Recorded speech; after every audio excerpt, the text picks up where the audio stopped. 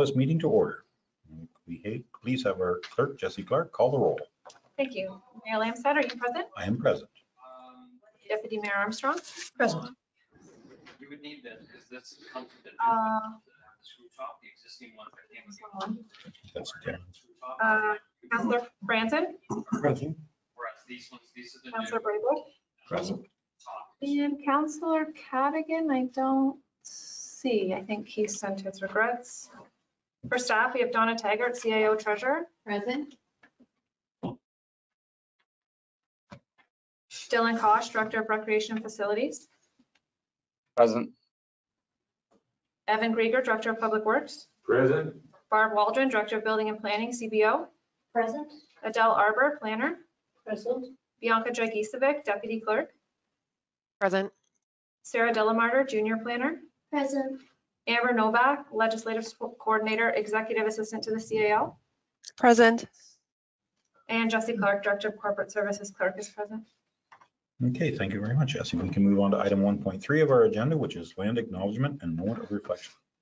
We respectfully acknowledge that Trent Lakes and Peterborough County are located on the Treaty 20 Mississauga territory and in the traditional territory of the Mississauga and Chippewa nations, collectively known as the Williams Treaty First Nation, which include Alderville, Beausoleil, Curve Lake, Georgina Island, Hiawatha, Rama, and Scugog Island First Nations. Trent Lake respectfully acknowledges that the Williams Treaty First Nations are the stewards and caretakers of these lands and waters in perpetuity, and that they continue to maintain this responsibility to ensure their health and integrity for generations to come. We will now take a moment to reflect on these principles and our duties and responsibilities as members of council.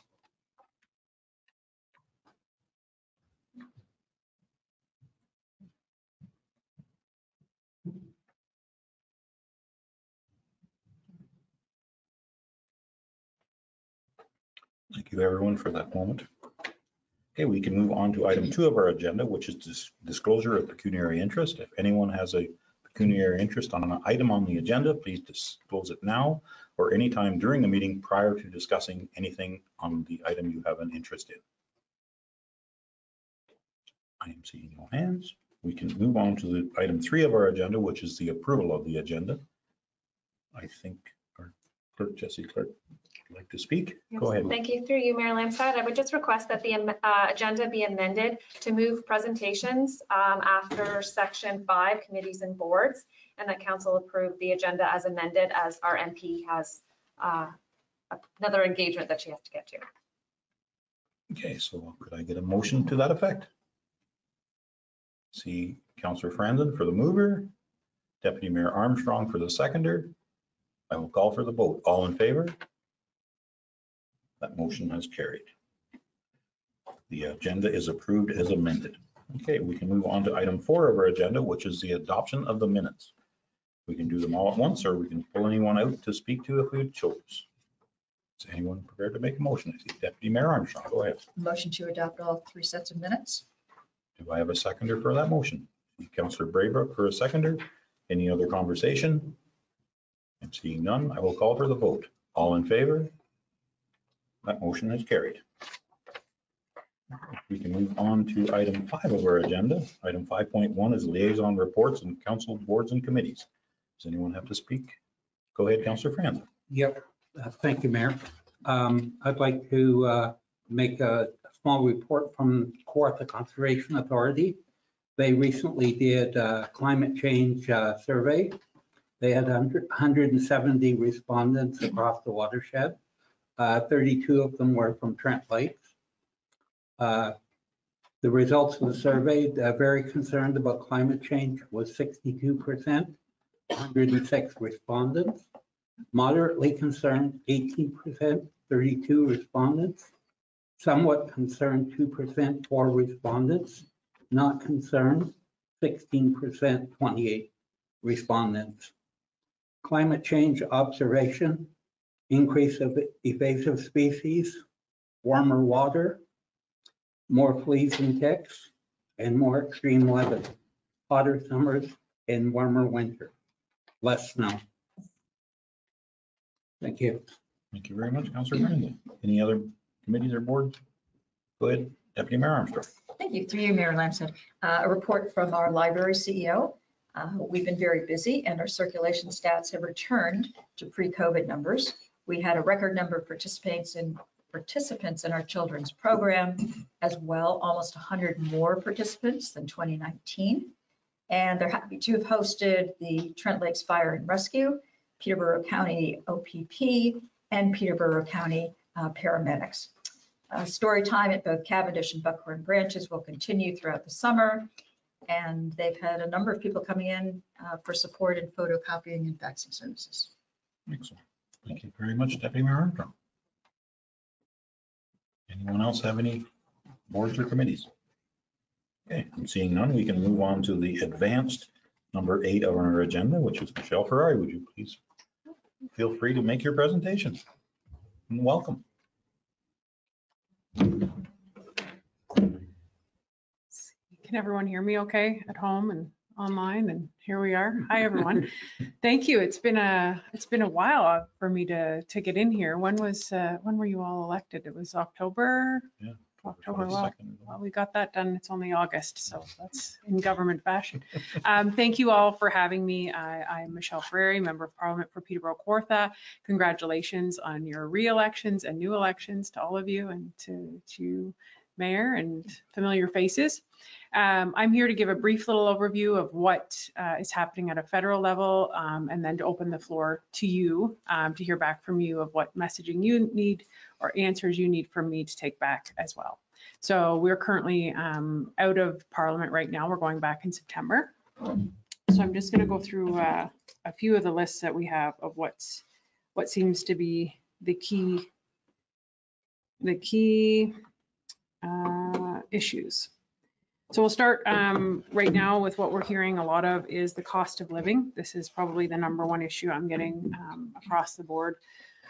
Um, food costs, obviously, uh, gas, um, housing, cost of living is without a doubt the number one thing that's coming across um, my desk that I'm hearing from, and obviously from constituents in Trent Lakes and in seniors. Um, took a phone call the other day from a senior who just um, just didn't understand how they were supposed to be able to live on on the amount of money that they are given when they don't have any extra income. So that's a that is probably the number one issue that we're seeing in terms of what we're proposing. Obviously, we want to get that cost of living down, help make life more affordable for people.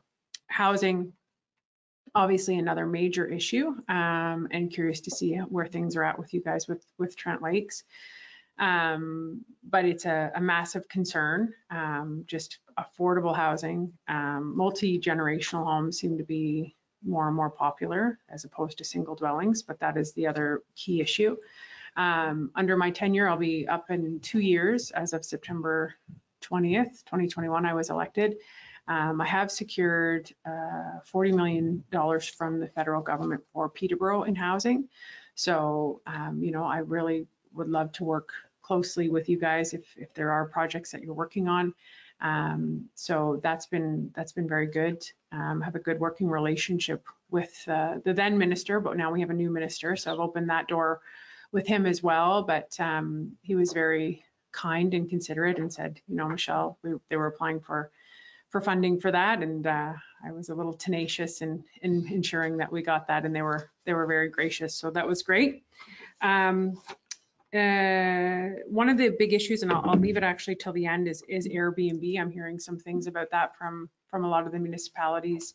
So I'm just curious on your, if you have any asks from a federal government perspective on where you sit with Airbnbs, long-term rentals. Um, the invasive species, uh, Trent Severn Waterway, this is obviously a massive issue for Trent Lakes. And we have our policy convention coming up for the Conservative Party of Canada in September. And uh, our EDA, which is our sort of local electoral district association, um, has been working with all other, um, um, quite a few, half a dozen or more uh, other EDAs across the country on an invasive species um, policy. So I know that it's a major issue here, and we have that. We have the Trent Severn Waterway, which is a gem. So it's a major issue to a lot of the folks living here. So we are working on that as well. Um, seniors, I touched on that a little bit. It just, uh, it is a big issue. I will tell you, um, if you deal with me while I have this all electronically, um, we do have the New Horizons. I'm just going to send this to you. So this is the New Horizons program right now. Um, I'm just going to read it out. So the New Horizons is a federal grants and contributions program whose goal is to support projects that help seniors stay active and engaged in the community. Every year, organizations across Canada are invited to apply for the New Horizons Seniors Program funding through a call for proposals for community-based projects that empower seniors in their communities and contribute to improving their health and well-being. This year, the call for proposals opened up August 1st until September 14th. Eligibility requirements, application instructions, and additional information can be found at the link, which my team is happy to send you if you want to share it. It- This has been a really beneficial program for a lot of, um, it helps a lot. And we've had the minister actually come to Peterborough at uh, Activity Haven in Peterborough. Um, It was a very um, much needed program to help seniors get, get together. So that's one thing that's uh, open.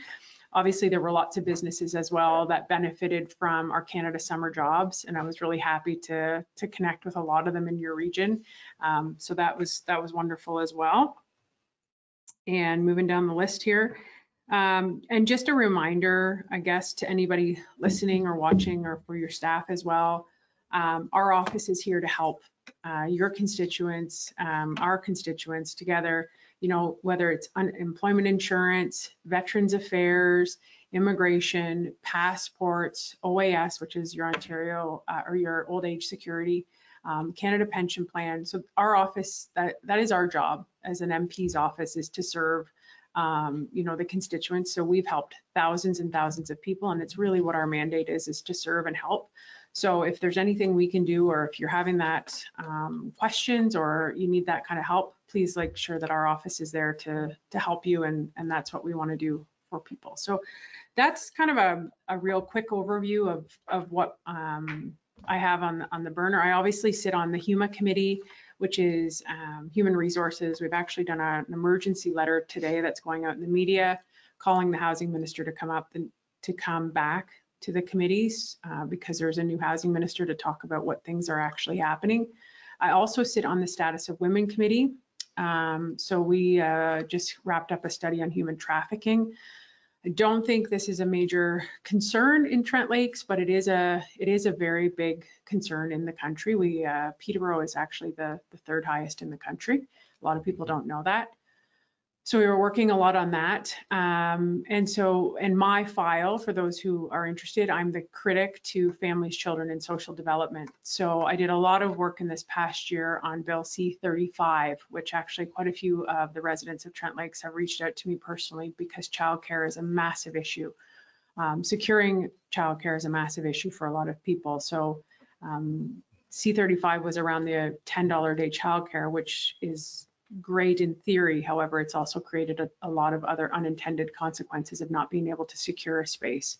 So um, those are some of the big things. Um, there's been a lot of other things. Obviously, public safety is a is a big issue in the city of Peterborough. I'm curious to hear how you guys feel about it here at Trent Lakes. Um, the opioid crisis is a major concern across the country as well. So I would like to open it up to you um, to hear any feedback that you have um, and any questions that you may have for me. Thank you for having me. Thank you very much, Michelle. Does anyone on council have any questions of Michelle?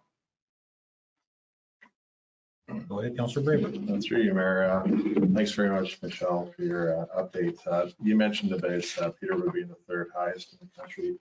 Is that for human trafficking or is there any specifics of that? Or is there a breakdown of?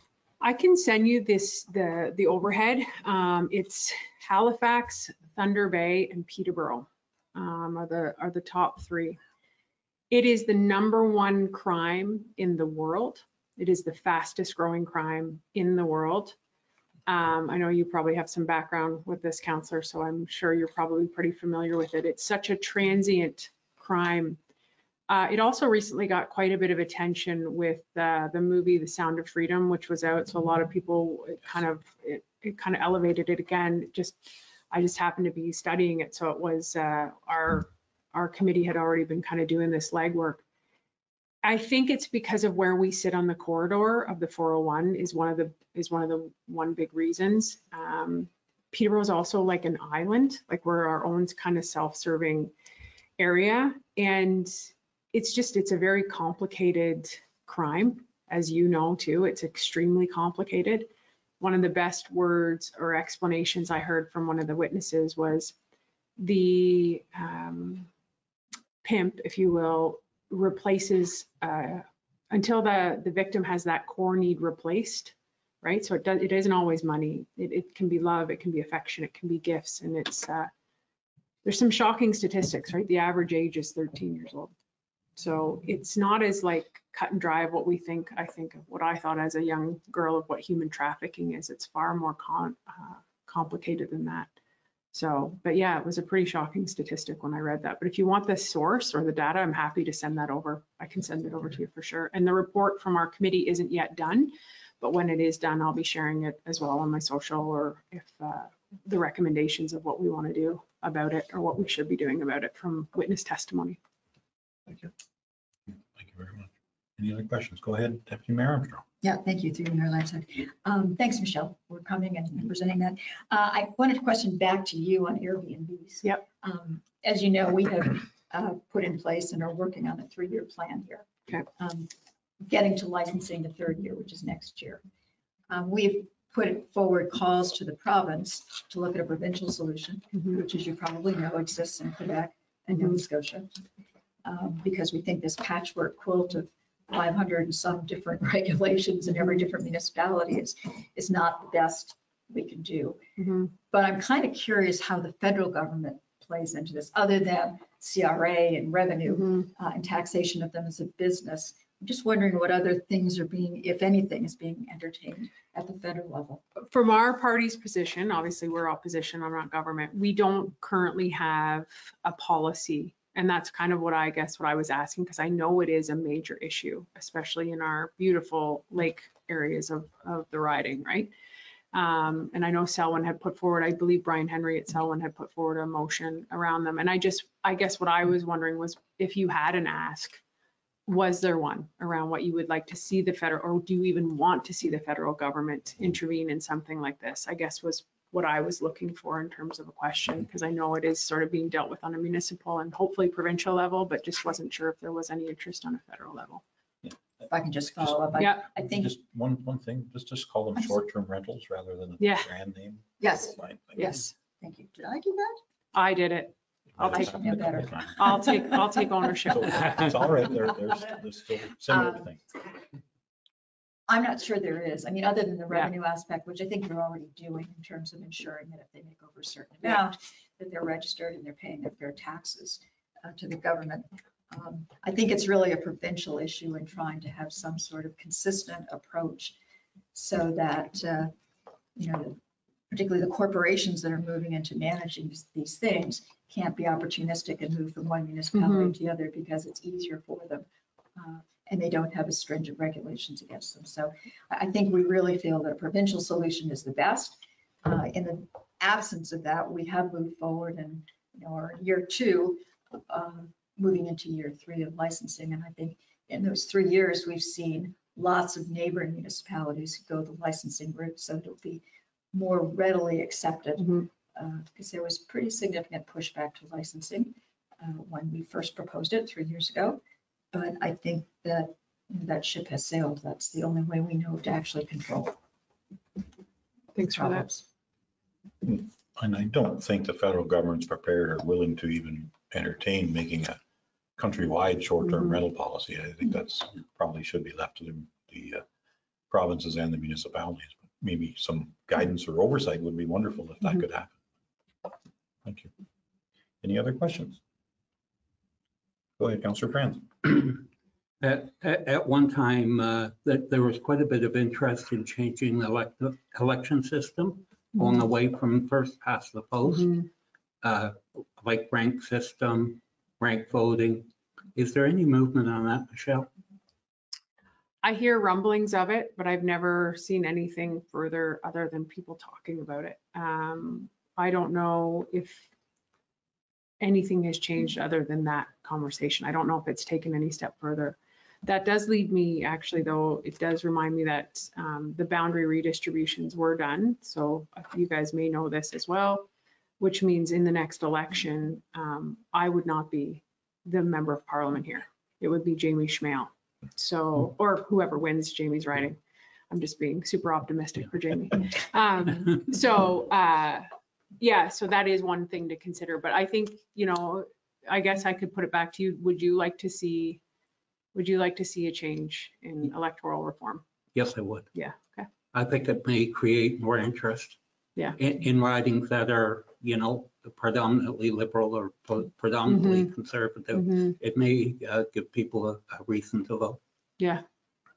Yeah, it's a, it's a tough system that we have right now. It was always a, the big issue, right? You vote for the per, oh, I like the person, but I don't like the party, or I like the yeah. party and I don't like the person. I like the person, but I don't like the leader, and I don't like the leader, but I like, and it's, Yeah, it is a challenge for people, for sure. Yeah.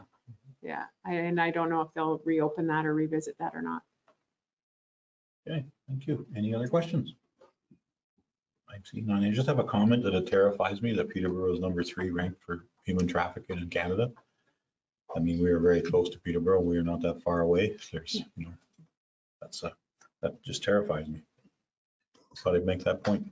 Yeah, Thank you for being part of that and trying to find some solutions. I really we have some pretty great police officers doing some pretty great work.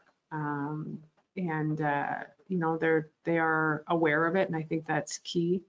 Um, but, you know, I- as I say, my favorite saying in the whole wide world is anything mentionable is manageable. And I think this was just something that we didn't really talk about or people really knew about, right? But, uh, yeah, I don't think, um, we don't want to leave people in a state of fear. I don't want to do that, but it is certainly something to be mindful of for sure. Thank you very much. You guys are you. very easy on me. I know. This is nothing like Ottawa. Come on. You're not gonna, very, very easy on me. Any other questions from council? Any questions from staff? Anybody have any questions with Michelle? And Just to remind the staff, anytime, please reach out to our office. That's what we would love. You know, that's what we're there for. And uh, if uh, you can't get any answers, please let me know or um, that's my whole mandate in our office is we are here to serve and we are here to help. We may not know the answer, but it's our job to help you find the answer. So thanks very much. Thank you very much, Michelle. Okay. Entertain a motion to uh, receive that presentation. Deputy Mayor Armstrong? Do I have a seconder? Counselor Franzen for a seconder. That is a motion to receive. I will, I will call for the vote. All in favor? That motion has carried. Thank you. Okay, now, gotta find where I was. We're moving back to item six of our agenda. I will entertain a motion to suspend our regular council meeting and go into a public meeting. Need a motion for that effect. Deputy Mayor Armstrong for a mover and Councillor Braybrook for a seconder. All in favor? That motion is carried. We are now in a public meeting. Okay, we can move on to item six point one of our agenda. And I think, Sarah, you will introduce that file. Thank you, through you, Mr. Mayor. This is a public meeting under Section 34 of the Planning Act to consider an amendment to the municipality's comprehensive zoning bylaw, B 2014-070. A notice of public meeting for today's application containing the prescribed information was circulated to all landowners within a 120-meter radius of the subject lands at least 20 days prior to this meeting. The notice was also mailed to all prescribed agencies, public bodies, and persons in accordance with the regulations. Anyone wanting to be notified of any decision from today's public meeting must send in a written request to either myself or the clerk, and the notice of passing will be mailed to them, setting out the method and manner in which appeals may be made to the Ontario Land Tribunal.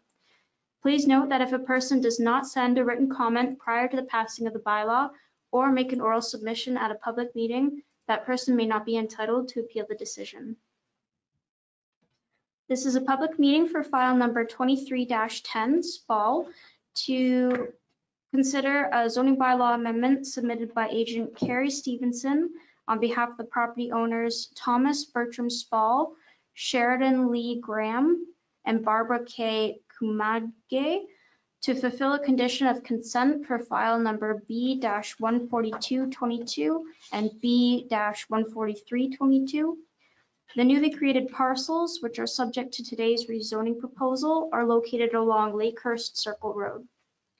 The consent applications resulted in the creation of two new vacant lots with a total lot area of 1.07 acres each and a frontage of approximately 148 feet each on Lakehurst Circle Road. The properties are currently zoned rural. The severed parcels, which are subject to the zoning bylaw amendment, do not meet the provisions of the rural zone and are being rezoned to the rural residential zone. The severed lots meet the lot area and frontage requirements of the rural residential zone. The application was accompanied by an R plan. No site plan was submitted as there does not appear to be an intent to develop the lots in the immediate future. There is a planning report on the agenda from the municipality's planning staff. The report states that the application is generally consistent with the provincial policy statement and growth plan for the Greater Golden Horseshoe. The municipality has received one comment from Peterborough Public Health stating that they have no objection to the proposed zoning bylaw amendment. No further comments were received by any circulated agencies or neighboring property owners. No comments were received expressing an intent to submit an oral submission at a public meeting. Further, if any member of the public did not register with the clerk indicating their intent to make an oral submission, but would like to do so at this time, please use a raise a hand feature if you are in the virtual gallery or physically raise your hand now if you're in the physical gallery so that we are able to promote you in order for you to make an oral submission. Thank you. Okay, thank you very much. Sarah Delamarter, our junior planner. Is there anyone in the gallery for or against this application? Would you like to speak?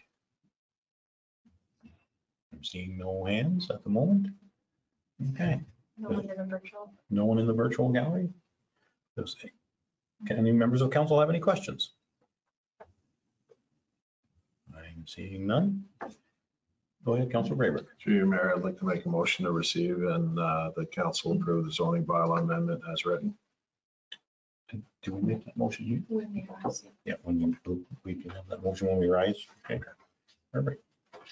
Okay, any other conversation? I think we've just received the report. Uh, We'll we'll just reconvene it and Okay. then Okay, go through perfect. it. Okay. Okay, we will need a motion to reconvene our regular council meeting. Is anyone prepared to make the motion? I see Deputy Mayor Armstrong and a seconder.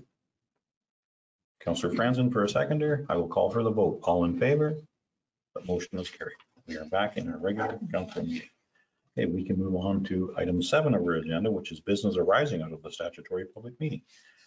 Item seven point one, Sarah Delamarter, our junior planner, would you like to speak to this file?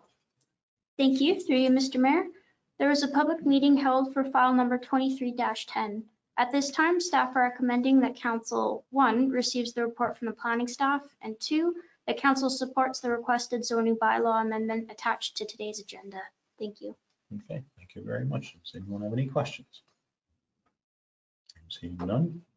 Councilor Braybrook, would you like to make your motion? Thank you, Mayor. Through you, Mayor, uh, I'd like to make a motion to receive the report and also the council approve the zoning bylaw amendment as written. Okay, thank you very much. Do we have a seconder for that motion? Okay, Deputy Mayor Armstrong for a seconder. Any other conversation? I'm seeing no hands. I will call for the vote. All in favor? That motion is carried. Thank you very much. Okay, we can move on to skipping item eight. We can move on to item nine of our agenda, which is delegations. And we have a delegation nine point one is Ricardo Borges. Ricardo, are you online? Yeah, hi. Can you hear me? Yes, we can hear you, Ricardo. You can go ahead. Fantastic.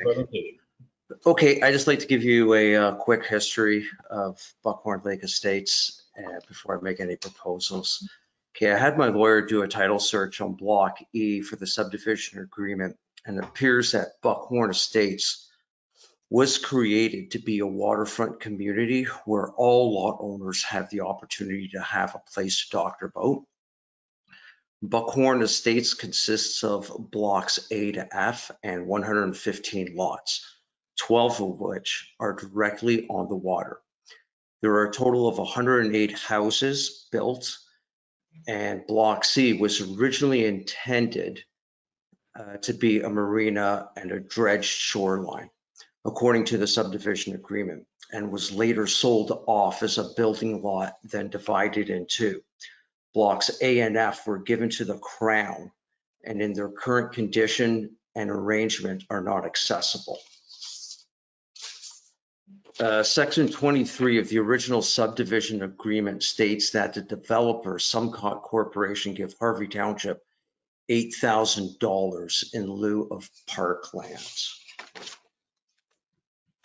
Now, blocks B was owned by the Buckhorn Estates Association, then sold off uh, in the late 1990s. It was a condition that all lot owners be a part of the association and pay dues according to the subdivision agreement that my lawyer had found. Uh, Block E in Buckhorn Estates is for the use of all the lot owners equally, and that the current arrangement is unfair. The municipality of Harvey, now Trent Lakes, approved this subdivision and it appears that the township has allowed or was not aware of changes that were made and blocks being sold off, limiting the recreational access for the lot owners. The current arrangement for the residents to dock a boat, I believe, is unfair. Uh, The director's policy, for all intents and purposes, gives residents with a dock ownership of waterfront on Block E. The directors claim that they have the right to do this uh, because of Section 4 of the lease agreement. I've had uh, two different dock manufacturer installers come out and say that docking spaces can be significant, significantly increased with finger docks. And there are currently no finger docks. Uh, I'd like to ask council to look into this matter and consider amending the lease agreement with specific wording to increase the dock spaces available to residents in here and stop the practice of ownership of waterfront on Block E. We also believe that blocks A and F that consist of considerable waterfronts and that were transferred to the Crown be transferred back to Trent or transferred to Trent Lakes for access of the re- of the residents. And I also like to invite the council members down to Block E for a meeting to discuss possible solutions. Thank you. Okay, thank you very much. Does anyone have any questions? Well, I'm seeing no questions of you. Ricardo? Any other comments whatsoever? I'm seeing none. Is anyone prepared to make a motion? Go ahead, Councillor Becker. You Yeah, just uh, through you, Mayor, just uh, one comment. Uh, Thank you, Mr. Bor- Bor- Borges. Am I pronouncing it? Yeah, that- yeah, that's correct. Yeah. Yeah, my only, um, just reviewing the materials, my only comment is um, uh, that speaks to the association uh, clause four that you, you had mentioned that, uh, that it was association basically will require sole approval of the association for any, I guess, amendments or or anything else to dealing with docks. So I'm not sure how the municipality, um, uh, what our role uh, or the municipality's role is as far as uh, any remedies uh, that you're seeking. Uh, yeah, yeah, thanks for the comment. Um, the current policy that the, uh, association, the directors have, uh, states that the, if you have a- a dock currently on the waterfront, that you can transfer that waterfront space to a purchaser of your property. Which creates uh, pretty much like an ownership of the waterfront. I'm not sure if, if you understand how that uh, works Okay, and what, and what effect that, that section four in that clause has. Now, I, I, I did talk to a couple uh, dock manufacturers and it is possible to remove docks and put finger docks to increase the dock space. And however, there's, there's no wording in this agreement.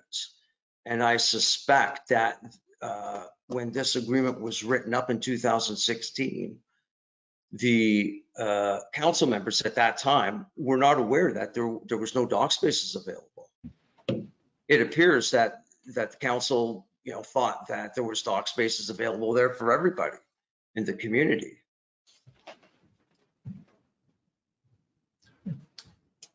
Help you, Councillor Braybrook? Uh, Somewhat. Uh, I think it's more something that our uh, building official and planning would be able to uh, possibly speak to.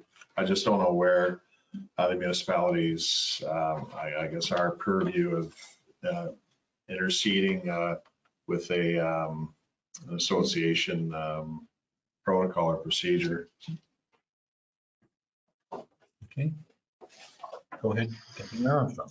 Uh, Thank you, and through you, Mayor Lambshead. Uh, I'd like to make a motion to receive the report and defer any further conversation until item 10.4.7 on our agenda when we receive a staff report on the situation.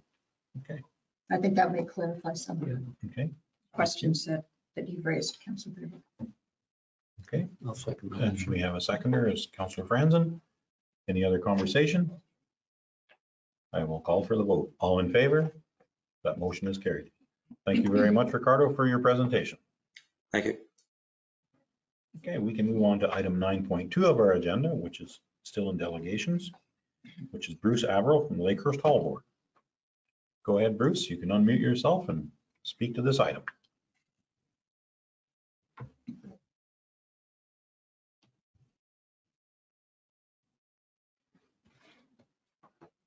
You can hear me? I'm sorry. Yep, Okay, great, great. So good afternoon, council. Good to see you all. I'm here on behalf of uh, the Lakehurst Hall Board to talk about property development at Lakehurst Hall. Next slide, please. And uh, in this presentation, I refer to uh, how our property de- development plan for Lakehurst Hall aligns with the strategic plan, facilities master plan, open spaces master plan, and the plan for economic development and tourism.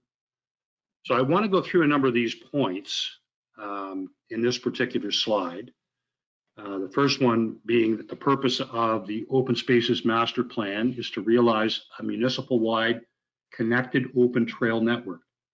Included in the facility recommendations is to create trailheads at community centers, which of course uh, Lakehurst Hall is, in addition to using existing trails when possible. In 2019, the municipality of Trent Lakes um, Facilities Master Plan report was completed and was developed to create a 20-year plan for facilities in Trent Lakes. Uh, Its scope includes community halls. And key considerations for the plan include the encouragement of municipalities to develop a system of publicly accessible parkland, open space, and trails. And our proposal for the development of Lakehurst Hall would capture all three. It would act as parkland, parkland for trail users for respite, enjoyment, and entertainment. It would act as an open space intertwined with the trail system. And the Open Spaces Master Plan key considerations state there is considerable overlap between the Facilities Master Plan and the Open Spaces Master Plan, given most facilities, in this instance Lakehurst Hall, could act as nodes in a large trail network. It further states that the an Open Spaces Master Plan will coordinate with the recommendations from, from the Facilities Master Plan whenever possible. In, in consult, in consultation with the Trent Lakes Parks and Rec, uh, Recreation Department, it was determined there's an existing trail system behind the Lakehurst Hall. And I'll show you a map later. I know you've all seen it, but uh, Trail 15, which runs down to Lakehurst Road. And um, it would be a viable starting point um, for implementation of the Open uh, Spaces Master Plan, as well as incorporating uh, this proposed project. This starting point could also include the existing trail system um, uh, from Lakehurst Hall to Buckhorn School and in turn Buckhorn Community Center. I know there was some costing done on the open spaces master plan, so I've referenced that in the last bullet point as well. And as you know, uh, council has made a commitment to completing specific open spaces master plan recommendations in this term of council. Uh, Next slide, please. So some of the recommendations, the facility recommendations were to create trailheads at community centers. And uh, there was some focus on improving recreation opportunities and access to them. And uh, also to identify and plan for new recreation opportunities, which we believe the development of the open space at the Lakehurst Hall uh, it pertains to that. So 12 of 18 recommendations for this term of council are highly recommended. The Lakehurst Hall Community Center Trail is one of only two trail development recommendations that are on municipality of Trent Lakes property and are highly recommended. Next slide, please. So these are, I think you've probably seen this as uh, one page with trails to the north of Trent Lakes and trails to the south of Trent Lakes. If you look at the one on the left here, you'll see, um, I, I don't know how clearly you can see it, but you'll see on the right-hand side in the middle, F7, which is Lakehurst Hall, with a trail running south and a trail running north, which would go uh, to the north side of Sandy Lake and back to Buckhorn. Next slide, please. So, you know, just, just like the other um, community halls in Trent Lakes have received improvements over the years, Cavendish and Galway halls, uh, Lakehurst Hall has also received um, you know, some improvements with uh, renovation of the hall. They had uh, purchased the Lakehurst General Store in order to enlarge the parking lot. But the southeast corner of the property is an open space which has not been developed and links directly to the trail network. So this is the next step in municipality facility improvement at Lakehurst Hall. Uh, next slide, please. So what would the, the uh, development consist of? Well, first of all, we have to clean up the property a bit. And the grass is like about, you know, waist high. Um, there's some sumac trees that need to be taken out. Um, and also some, there's a few trees that need, need to be taken down. But one of the things that we're trying to accomplish here is almost like an amphitheater with tiered seating on the hill because behind that parking lot to the south, the, the ground goes down almost like a back uh, uh, walkout in a house. And uh, on that, we're looking to put three tiers of seating with armor stone uh, facing onto a small performance area. We would need some lighting, some an access route, which would really consist of a pathway uh, that would allow vehicles, not cars, but more, um, we'll call it landscape equipment, uh, to be able to go down there and do work. And it would join right onto the trail system. A performance space, um, which would ultimately look more like a gazebo uh, with a, a, flat space underneath it for performances. And I'm not talking about rock bands. Um, you know, I'm talking about, uh, you know, our, our summer the- a summer theater camp, let's say for kids, um, or um, we could use it as a um, uh, so we could also use it for uh, a municipal space uh, to promote our trail system. So almost like a seminar uh, location for groups such as Kawartha Lake Stewards Association, so people can learn more about the trail system. It's a perfect place for it. Um, and of course, you need some tree and shrub planting just to finish uh, everything off. Outdoor programming may also include music, performance, plays, weddings. Uh, we can have uh, wedding receptions, but not really wedding ceremonies uh, at Lakehurst Hall right now. Uh, camps and even culinary experiences. Um, Lakehurst Hall already supports youth performing arts with 15 students in our first classes this past spring. We're looking forward to our fall program and an outdoor performance space would facilitate summer theater camps as well. And you may notice in the at the bottom of this slide, it references the Festival of Small Halls. So um, the uniqueness of Lakehurst Hall, which I call the Massey Hall of Trent Lakes, has attracted an invitation to be part of the Festival of Small Halls. This includes music performances at over 34 small halls throughout Ontario in October. And we will be hosting the Abrams Brothers on October the 14th. Next slide, please. So if you take a look at this up in the upper left-hand corner, I'm really showing you what we're hoping to accomplish. Some sound barrier trees on the left side, tiered seating at the bottom of that uh, uh, piece, in the middle, a small performance area, and a playing field to the far south, which, which is adjoining the forest, and a pathway on the right-hand side to access the trail system. If you look down at the bottom on the left-hand side, this is sort of an idea that's already in place at Trent University. I don't know if you've been down Chemong and you've seen Traill College. This is the amphitheater behind Traill College. It's gorgeous. Now, they, they built it with some very nice materials. And I'm not suggesting that we go to that extent. I'm saying not bare bones, but keep it a little bit more local with some armor stone proceeding and a wood pavilion. And then you can see some different styles of armor stone there as well. Um, yeah, so next slide, please. So these are the property surveys that we got from the Recreation and Facilities uh, Department. So we want to, so this will help us in, in development of that southeast corner of the property. We will continue to work with our recreation and facility staff um, who, and they recommended a, a more detailed plan for property development, which we're in the process of, of uh, getting going. And next slide, please. So who and what do we need to rely on to make this development complete?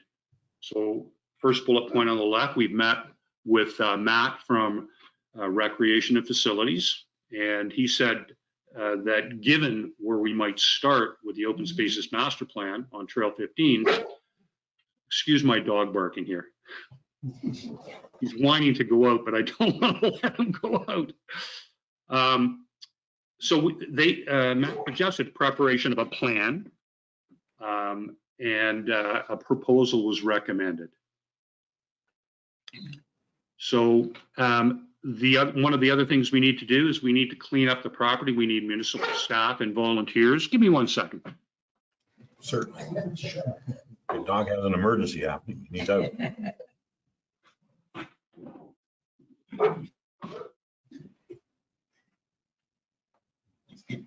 Sorry about that. Okay, Bruce? I'm here by, I'm here by myself with my dog. So, um, we need to do some tree and shrub planting, some tree chainsawing and pro- property cleanup. So this could be done by municipal staff. And even the hall folks, uh, on the board said we could get some volunteers together to do some of that cleanup. Maybe not taking down trees, but, um, doing some of the other work there. We've approached a landscape designer and uh, he's actually come out to the site. We haven't gone as far as getting a landscape design done because we wanted to come to council and ask your opinion of this. Should we continue with our project and push forward, get uh, landscape designs, more um, more quotes on work to be done before we proceed? We're, we're looking for your support on that. We have uh, gone to a number of um, construction landscapers. I'll give you an example, Young's Construction. So they actually did work on both the amphitheater at Traill College, Trent University, and also uh, they did work at um, at the Grove Theater out in Fenelon Falls. I'm sure some of you have heard of that. And they're great tourist attractions. We would need an electrician to help with some lighting and uh, grants as well might be something we'd like to take a look at. So uh, Trillium grants would be uh, one option. And I also saw that the Ministry of Tourism, Culture, and, uh, sorry, uh, Culture and Sport have a tourism development fund that's open for applications now as well. So we had we had wanted um, recreation and facilities to clear out the space and remove brush and grass but they recommended that we uh, put a, a plan or a proposal together first. Uh, Staff indicated this open space aligned with the Lakehurst Hall Trail development, which is a high priority recommendation on municipally owned land. And we wanted to get council's feedback before developing few, uh, further plan details. So with, with your support and approval, we would go ahead with a landscape design drawing. We ask you to, to direct staff to clean up and clear out this open space so it can be used. Or, as I'd mentioned, we can get a contractor to do it, or volunteers can ship in to do so as well. And we also ask that you request our CAO to meet with our uh, Lakehurst Hall Council liaison to explore funding options, including open space master plan funding and grant funding. So, so I thank you for having me today, and I and and I'm uh, curious as to your response or support for our plan. Okay, thank you very much. Does anybody have any questions? Seeing no questions. Go ahead, Councilor Braybrook. Uh, Thanks very much, uh, through you, Mayor. Uh, Thanks very much, Bruce, for your presentation. Um, Are you able to comment as, as to the uh, Ontario RTO8, uh, the Regional Tourism Organization, and how that may be of assistance and uh, possibly raising some funds uh, to augment the cost? Yeah, I saw, I just, I saw that come out the other day through RTO8. The fact that the ministry had come out with uh, the Tourism Development Fund and, and now is the time. That's, that's where I found out about it. They had uh, announced it. So uh, I don't know too much more than that. I would have to uh, see what the application process involved. Thank you. Okay, thank you very much. I, I, I, any other questions? Go ahead, Deputy Mayor Armstrong. Uh, Thank you, thank you, through you, Mayor Lambshead. Um, Thanks, Bruce. Sorry, having a little trouble with my voice today. Um, First of all, I think this is an excellent proposition that you're bringing forward. It's certainly in line with uh, our various plans, as you've pointed out. Um, Another thing you didn't mention is that it expands the use of our municipally owned community centers, which I think is a high priority for all of us, is is to leverage those more. Um, And it would be a connector for other trails. So I conceptually, I'm very much in support of the proposal. Um, I do think we should wait to do any cleaning up or clearing out until we have the, the plan and drawings um, that you would, uh, as- I think you said, your group would continue to work on. Um, So I would support the further development of that. Um, And I also think it's a great idea if our CAO is willing to meet with the board to talk about potential grant applications that could fund this. Obviously, if we were to move forward on this, uh, it would have to be a budget item for next year. Uh, And we would entertain that probably in, well, start in September, but we would entertain that in the November to December timeframe. Um, So feedback for me is, yeah, I think this is, you know, terrific initiative, appreciate it. It's uh, certainly aligned with our various plans. We would all like to see something concrete uh, and visible and operational come out of those plans, and this would be one way to do it.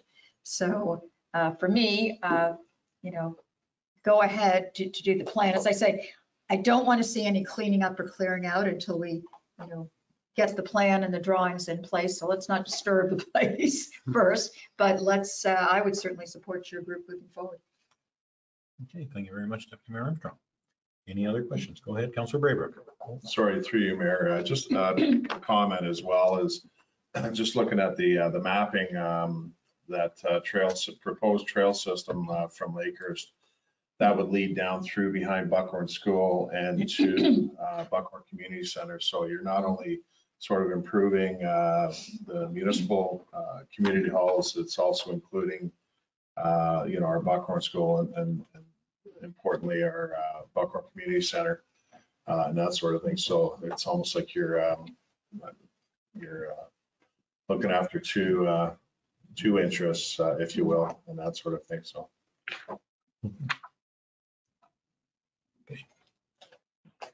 Okay, okay.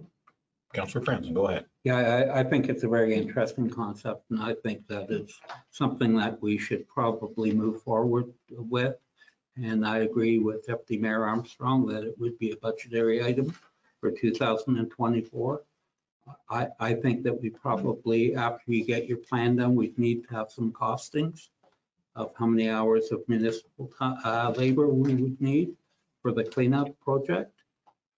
And uh, some others minor details, Bruce. Okay, that, that- that's great. Your comments are fantastic and, and uh, I look forward to bringing uh, your comments back to uh, the board. And uh, we'll continue to work on uh, getting some costing together uh, so that we can talk more about um, the, I guess, the budget process later this year. Okay, thank you, Bruce. Go ahead, Councilor Braybrook. Through you, Mayor, uh, just a question, this may be to, and it may not be able to be answered right now, but that would be to staff and the Parks and Rec uh, Director, um, as far as um, we're sending uh, Bruce back to the board to uh, come up with some costings and and whatnot in a budget and, and actually putting some money out to get a a detailed um, uh, set of drawings and and that sort of thing to bring back. Is there any way that um, our staff uh, would be able to assist Bruce with what they would be looking for as far as them moving forward as opposed to uh, not necessarily guessing, but Bruce uh, and the board trying to guess at what would be needed, uh, just so there's not uh, an expense that they don't have to spend. If they could uh, work in coordination with the staff, that would be helpful. Yeah, I think that's important because it'll be, a lot of this work will be accomplished by our staff. Um, I just, I just have a couple comments before, oh, sorry. Go, go ahead, Councilor Franzen. Yeah, I was uh, just building on those comments. I- I think that we probably would need a staff report uh, on availability of time and, you know, costing and uh, some of the other details. Yeah, I, I think, I agree. I think some of the pre-work would be property maintenance because it is kind of shabby looking down in there, we should say. Yeah. And it's, and it's, wouldn't hurt to have that cleaned up a little bit, but uh, my comments were, we live in armor stone country. We complain that we have many quarries here, so locally sourced armor stone should be relatively easy to obtain. I think that's a, a great idea to have that part of your amphitheater seating. Um, and also we're we're neglecting that, that Lakehurst Road is, is a county road that when they upgrade Lakehurst Road, let's hope that they will do some active transportation lanes on both sides. And that can connect us to the Chase Memorial Park. So it's, it's, it's kind of a centrally located area. It's a bit of an adventure to get there, but it's not that far away. So that's another asset to having an amphitheater of some form in that area. So I think those are all great ideas and hopefully we can move forward on some of them. Thank you very much, Bruce. Thank you all for having me today. Okay. Any other questions? Seeing none, is anyone prepared to make a motion to some effect? Go ahead, Deputy Mayor Armstrong. Uh, I would make a motion to receive. Okay, do I have a seconder for that motion? Councilor Braybrook for a seconder. Any other conversation? I will call for the vote. All in favor? That motion is carried. Thank you very much, Bruce, for your presentation. Thank you. Okay, we can move on now to item 9.3 of our agenda, which is Kevin M. Duguay and Gary, I'm not even going to try the last name, for a zoning bylaw amendment. If you are online, Kevin, please unmute yourself and speak. Yes, thank you, Mayor Lambshead. I'm assuming that you're able to hear me. Yes, we can. Uh, Thank you. Uh, I- If I might, I'd I'd like to congratulate uh, Mr. Averill and his group with the uh, Lakehurst Hall proposal. That is very intriguing. Congratulations to his group and your municipality if you were to be able to contemplate uh, what, uh, uh, excuse me, implement what is proposed. Um, I'm I'm grateful that I was able to take in that uh, presentation, so thank you. Uh, Your worship, uh, members of council, uh, for the record, my name is Kevin Duguay. I am the planning consultant for Mr. Tim Triani, who also joins me uh, on this telephone call. Um, This application, which is limited to zoning bylaw amendment, was originally considered in uh, November. A report was authored at that time uh, to the mayor and members of council, which indicated um, it outlined certain recommendations and also indicated that a archaeological assessment would be necessary to advance uh, the application for formal approval consideration. I can advise council that uh, AMICK consultants have carried out the requisite stage one and stage two archaeological assessment. And I can advise council there are no issues from an archaeological perspective. Having said that, um, uh, I have um, had opportunity uh, to review uh, in detail the report that was prepared by uh, Chris Jones, the municipality's planning consultant. And um, I won't spend time commenting on his critique of my planning justification report, with the exception of one very important um, matter. Um, the I have the opportunity to work with all area, all county municipalities and the county itself, and in all current applications, it is a requirement that my planning justification reports consider the implications of a land use approval application, a zoning application. What does it mean um, to the propending new county official plan? And it's my professional opinion, your worship, members of council, that this application is in conformity with the policy directives of that plan. I just wanted to state, like, it wasn't out of place to uh, comment on the fisher plan. It's important that that be done. Now, the application simply put uh, intends to build upon an existing seasonal dwelling that's located on the top of a very steep embankment.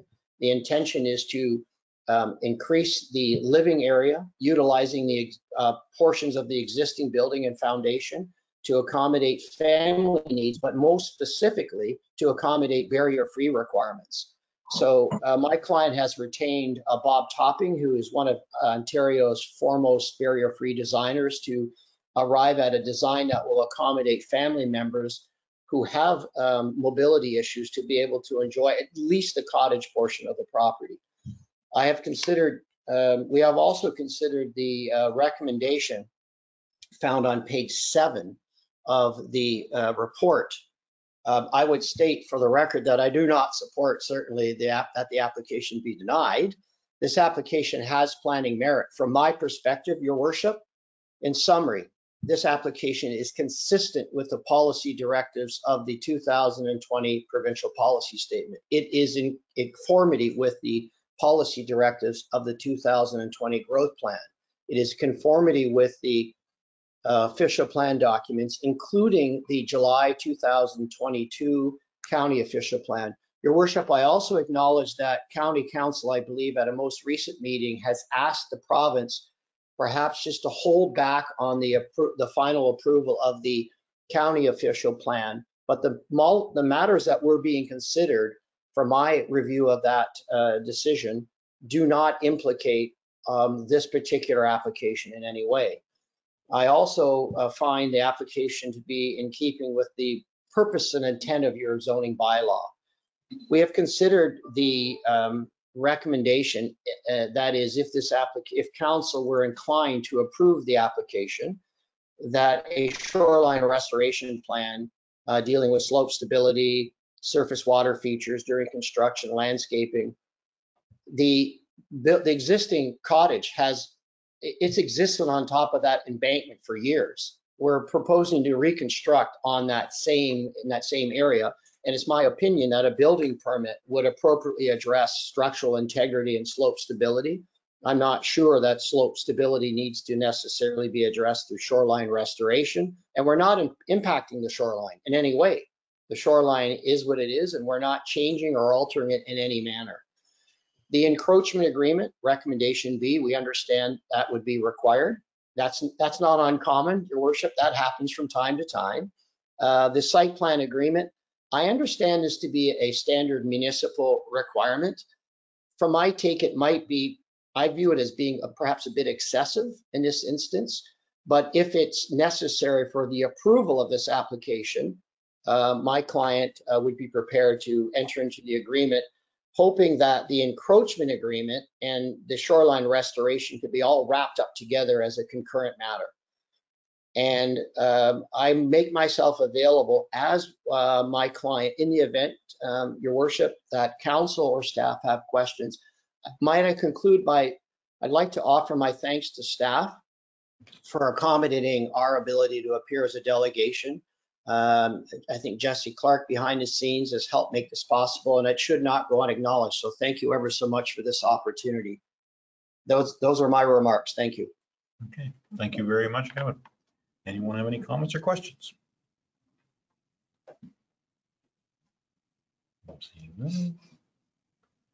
I just have a comment.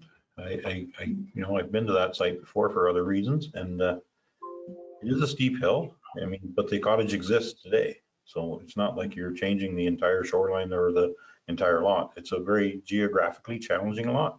It seems like your, your ideas are reasonable to me to develop that lot. Thank you, your worship. you. Any other comments or questions? Seeing none. We can. Anyone prepared to make a motion of some form? Go ahead, Councilor. Brown. Yeah, I'd like to make a motion to receive uh, Kevin Du- Duguay's report or presentation. Do I have a seconder for that motion? Councilor Deputy Mayor Armstrong for a seconder. Any other conversation? I will call for the vote. All in favor? That motion is carried. Thank you very much, Kevin, for your presentation. You are quite welcome. Okay, we can now move on to item ten point four point two of our agenda. And Sarah Delamarter, you can speak to this one. Sorry, I'm lost. Oh, I'm wrong. Oh my, I've got, I'm way ahead of the game. What the heck is going on?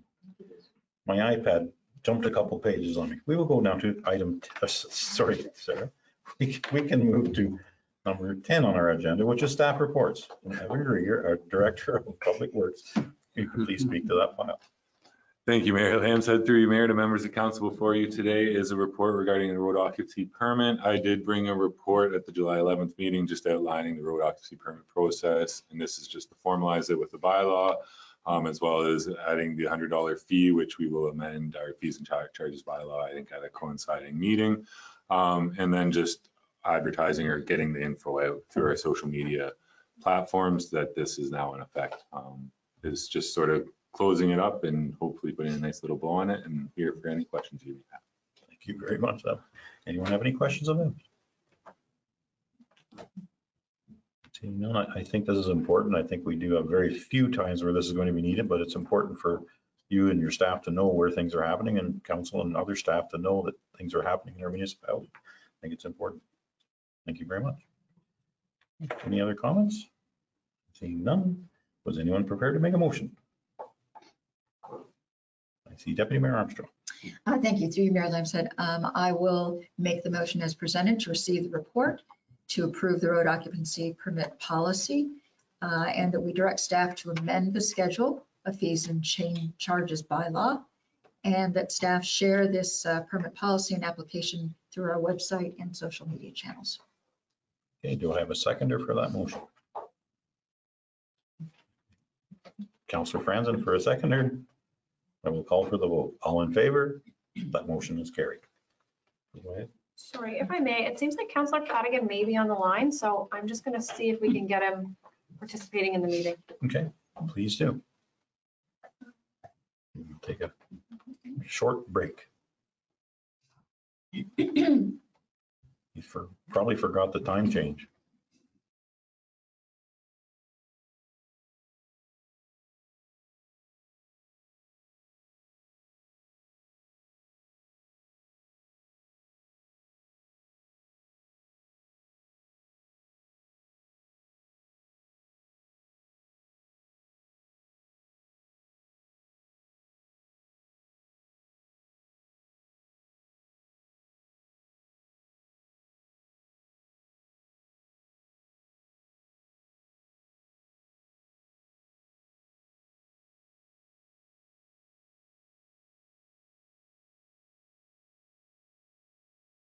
Uh, Councillor Cadigan, I see you on the line. I sent you an email with the panelist invite if you wanted to check your email and rejoin.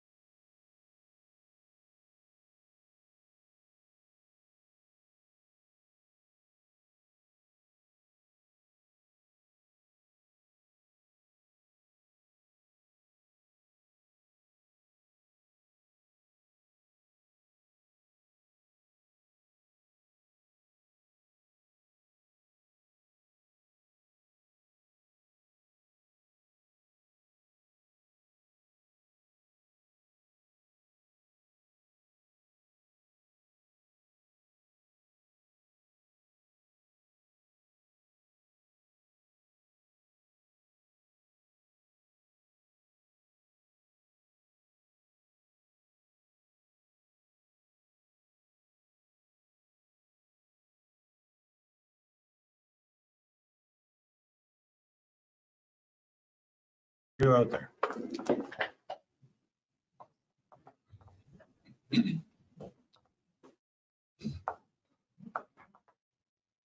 Counselor Cadigan, you are muted if you wanted to unmute, and I'm not sure if you wanted to, are able to share your webcam as well.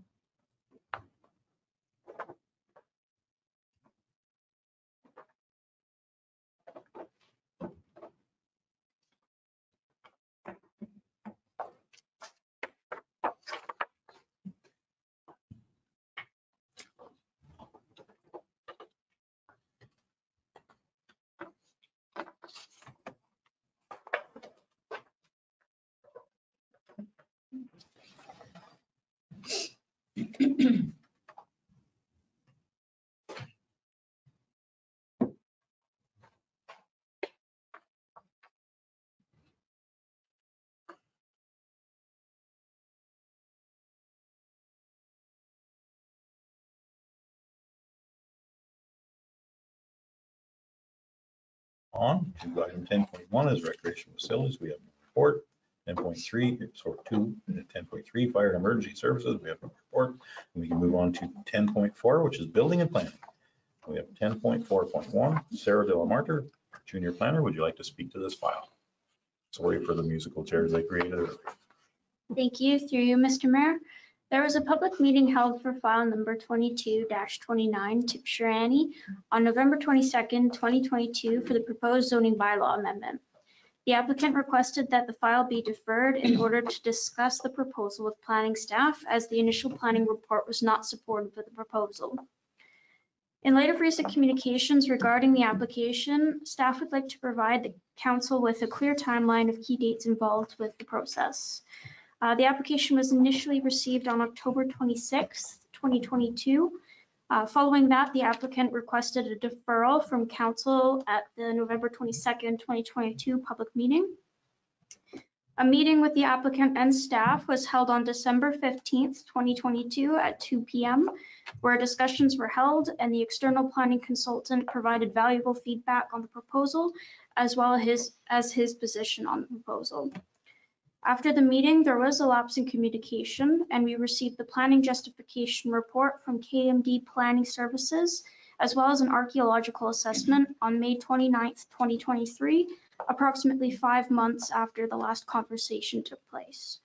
Given the time elapsed and the workload during the busy period, as well as the fact that there's one council meeting per month in the summer months, it took some time to review the report compare it with previous notes, and refamiliarize ourselves with the details of the application. We want to assure that council, to council, that the application has been progressing mm-hmm. at a reasonable pace considering the circumstances. The subject land has a lot area of approximately 0.2 acres. However, Chris's original mm-hmm. November 2022 report identified a discrepancy of the lot area with MPAC, which suggests a lot area of 0.32 acres which is suspected to be due to the exclusion of the original shore road allowance from the lot area on the application. The lot has an irregular shoreline frontage of approximately 40.6 meters or 133 feet. The lot is currently occupied by a single-story dwelling with a floor area of approximately 101.45 square meters or 1,092 square feet. An attached deck with a floor area of approximately 50 square meters or 538.2 square feet. Additionally, a shed exists in the water yard, which was not included on the applicant's site plan. The applicant's lot is characterized by an extensive staircase in the water yard, which also encroaches onto the abutting municipal unopened road allowance. The applicant has submitted an application for an encroachment agreement to recognize the staircase's location. The applicant is proposing to construct a replacement dwelling with a ground floor area of 140 square meters or 1,507 square feet and introduces a partial second story to the dwelling, accessible basement, and a new attached deck. The applicant would require relief from the 30 meter water yard setback to accommodate the 18.44 meter setback from the dwelling and 15 meter setback from the deck. The applicant would also require a reduction to the exterior side yard for the deck from 6 meters to 0.38 meters from the deck and 2.61 meters from the dwelling. Additionally, the applicant's proposed septic, septic system uh, would be located within the required water yard, and there would be a reduction to the private right-of-way setback from 12 meters to 4.6 meters.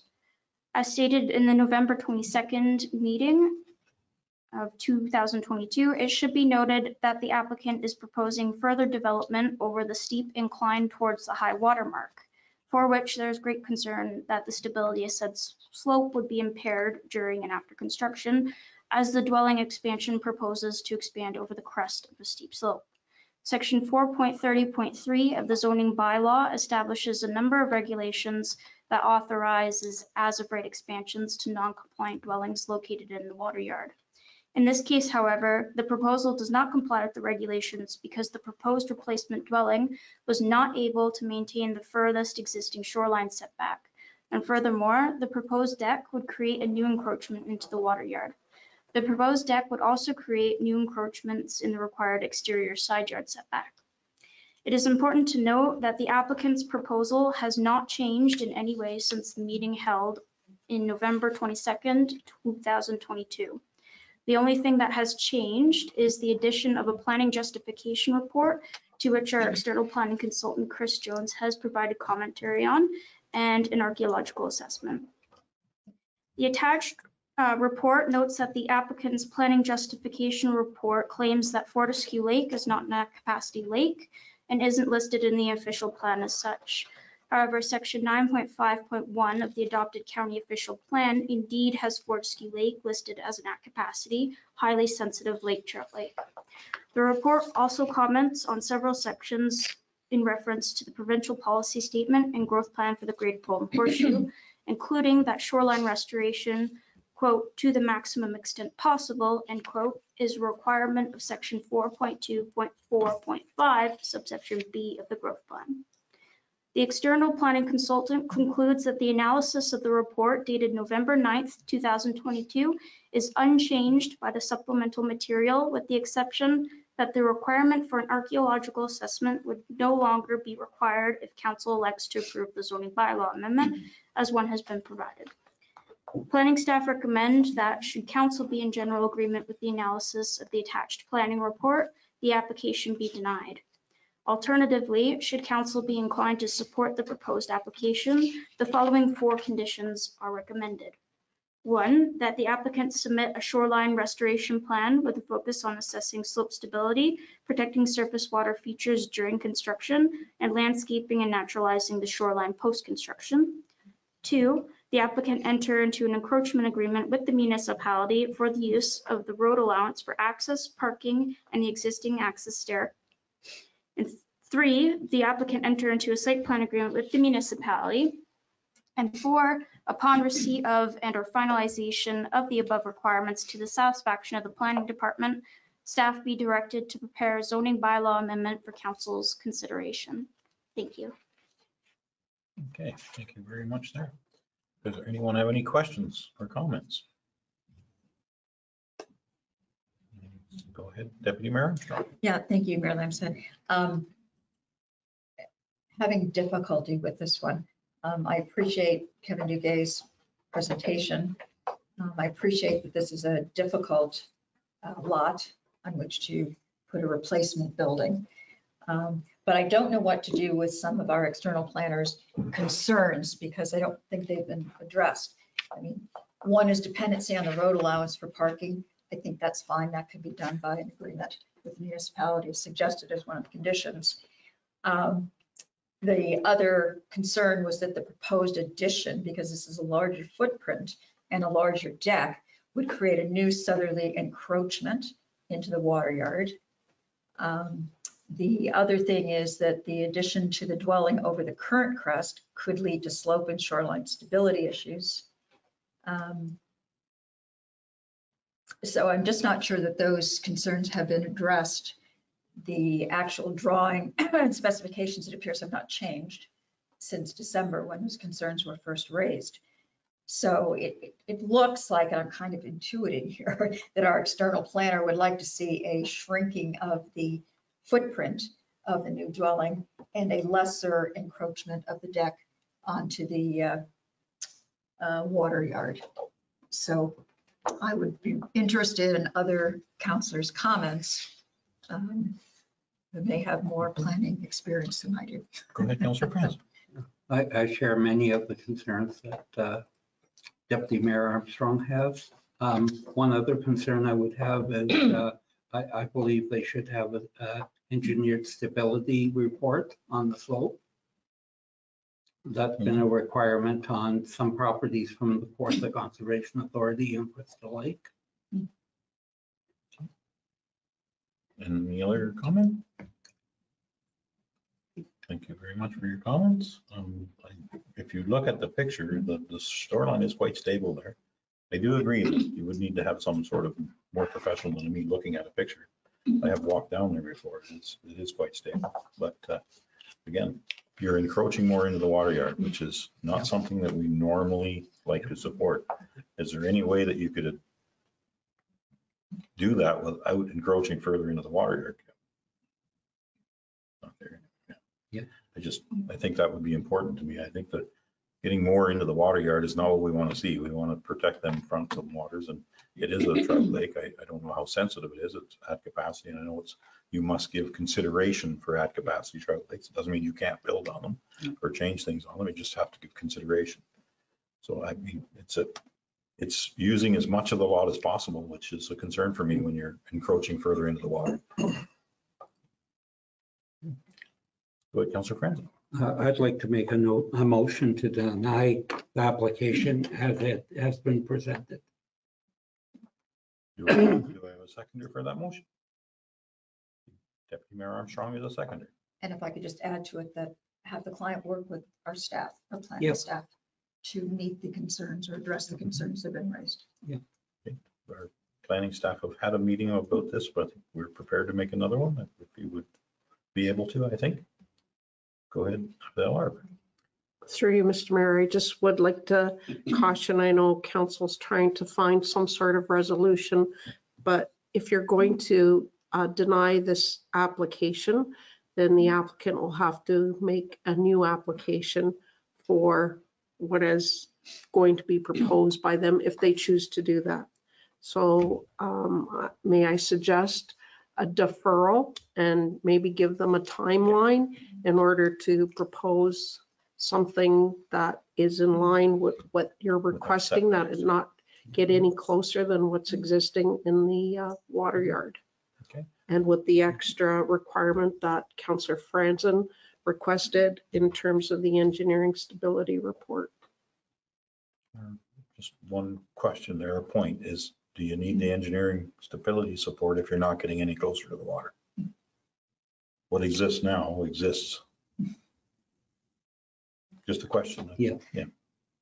But probably not. Probably not, yeah, okay. So, so I, I think for me, if I was going to amend that, it would be defer it and have them come back to staff with a recommendation, a proposal that doesn't encroach any further into the water yard. I, I think we want to protect the lakes. That's Yep. what we're here for. I think it's incumbent upon us to make sure we do that. And encroaching further with a deck, I know it's not a big encroachment, but we don't want to start that. It's, I, I think personally, I don't want to start that. I think we're trying to save our lakes and do the best we can. Go ahead, Adele. Through Mr. Mayor, and maybe we can ask the chief building official, Barb Waldron, that there may be a point when they pro- provide their building plans, should they get approval to go ahead, that the chief building official may ask for a stability report at that time and engineered. Through you, Mr. Go Mayor. ahead, Barbara Walden, our CBO. As part of the building permit process, if we deem that we need some engineering on footing design or supportive footings or whatever, we would ask for at that Okay. that point in time. Okay, so that, thank, thank you very much. Barbara Walden, our CBO, Director of Building and Planning. Okay. Thank you. I- I'd be willing to amend my motion to the motion that's been recommended So by I'm going to Mayor. defer and ask them to bring a proposal back to staff, work with staff to get a proposal that does not encroach into the water. yard. Yeah. You have something like that, Linda? Are you still prepared to second that? I am fine with that. Okay. Thank you. Any other conversation? We'll call for the vote. All in favor? That motion has carried. Thank you very much. Thank you very much Stan, for that. Okay. I'm completely lost again because I moved my pages around. Where did we go? There we are. Okay, we can move on to ten point four point two, which is Sarah Delamarter, our junior planner. Can you speak to this file? Thank you. Through you, Mr. Mayor. On today's agenda, we have a report from planning staff regarding the property known municipally as 43 Fire Route 212. The property owner has submitted an application to eliminate the holding provision on their lands. The purpose of the property owner's request is to facilitate the construction of the development approved by zoning bylaw amendment number 22-06. The holding provision required the property owner to fulfill a number of conditions prior to the development of the lands, which included the following three. One, a stage one and two archaeological assessment. Two, a shoreline restoration plan prepared by a qualified professional. And three, a site plan agreement with the municipality of Trent Lakes. The property owner has fulfilled the conditions of the holding provision. The property owner has plans to develop the lot for residential purposes in accordance with the comprehensive zoning bylaw B 2014-070 as amended. The notice of intention to pass a bylaw to remove the holding symbol was given in accordance with section 36 of the Planning Act. This notice was circulated on July 19, 2023. The municipality has not received any comments from any of the circulated agencies or property owners at the time of writing this report. Staff are recommending the removal of the holding symbol from 43 Fire Route 212 in accordance with the official plan and zoning bylaw. The owner has entered into a site plan agreement with the municipality. If council is in agreement with the conclusions of the attached report and in the absence of any concerns by council, agencies, or members of the public, and all conditions of the removal of the hold being satisfied prior to this council meeting, it is recommended that a bylaw to lift the holding provision be approved, which is on today's council agenda. Thank you. Okay, thank you very much, Sarah Delamarter. Does any Members of council have any questions? Seeing no questions, is anyone prepared to make a motion? Councillor Braybrook, Through your mayor, I'd like to make a motion to receive the report and also that council support the approval of a bylaw to remove the holding symbol for 43 Fire Route 212. okay, I have a motion to approve it. Do I have a seconder for that motion? See Deputy Mayor Armstrong for a seconder. Any other conversation? I am seeing none. I will call for the vote. All in favor? That motion was carried. Okay, we will move on to item 10.4.3 of our agenda, which is once again Sarah Delamarter, our junior planner. Can you speak to this file? Thank you. Through you, Mr. Mayor.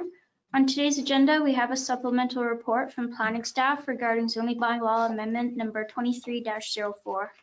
Resolution R 2023-192 was passed July 11th, 2023, the purpose of which was to address the concerns of a neighboring property owner who had concerns regarding the volume of water that travels through the existing culvert and how additional construction could, could contribute to more water flow.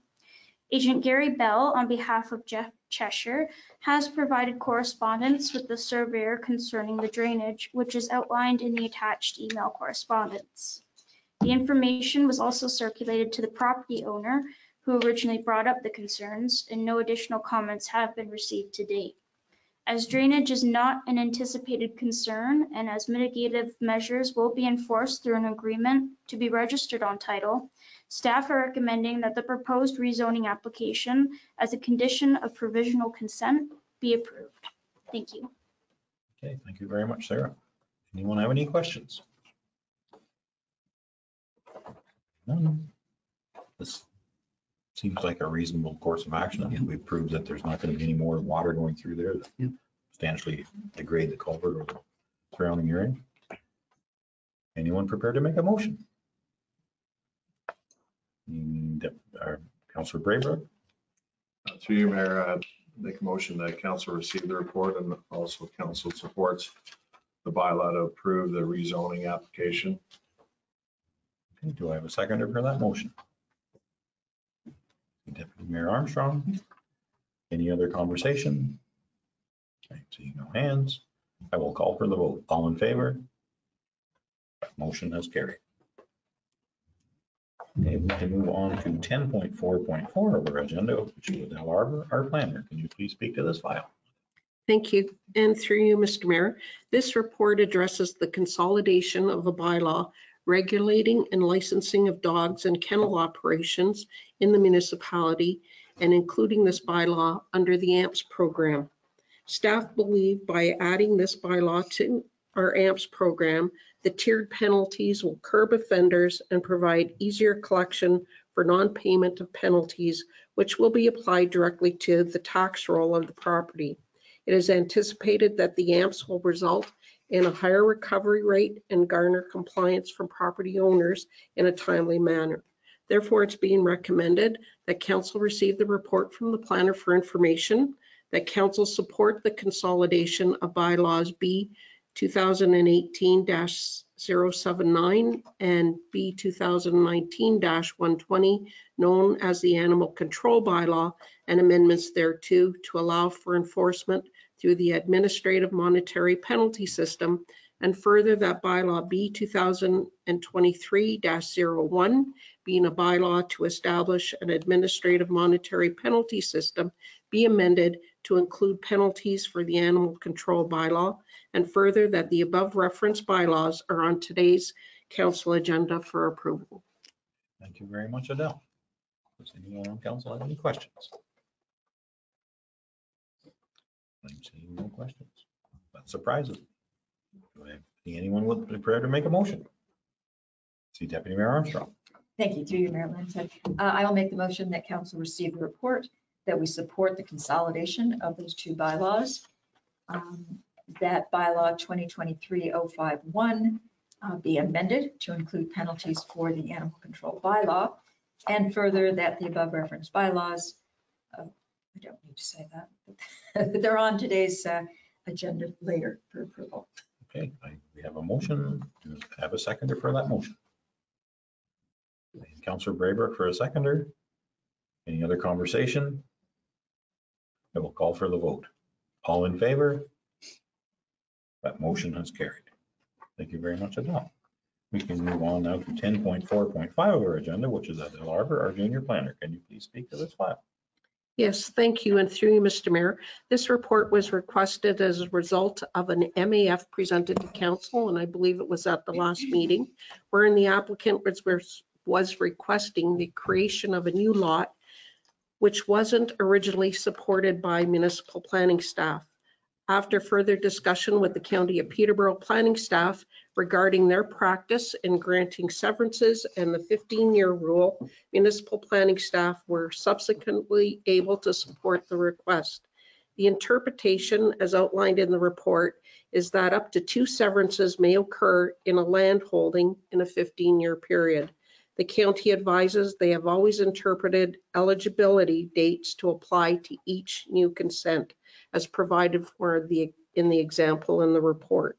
Therefore, it's being recommended that this report be received for information purposes. Okay, does anybody have any comments or questions?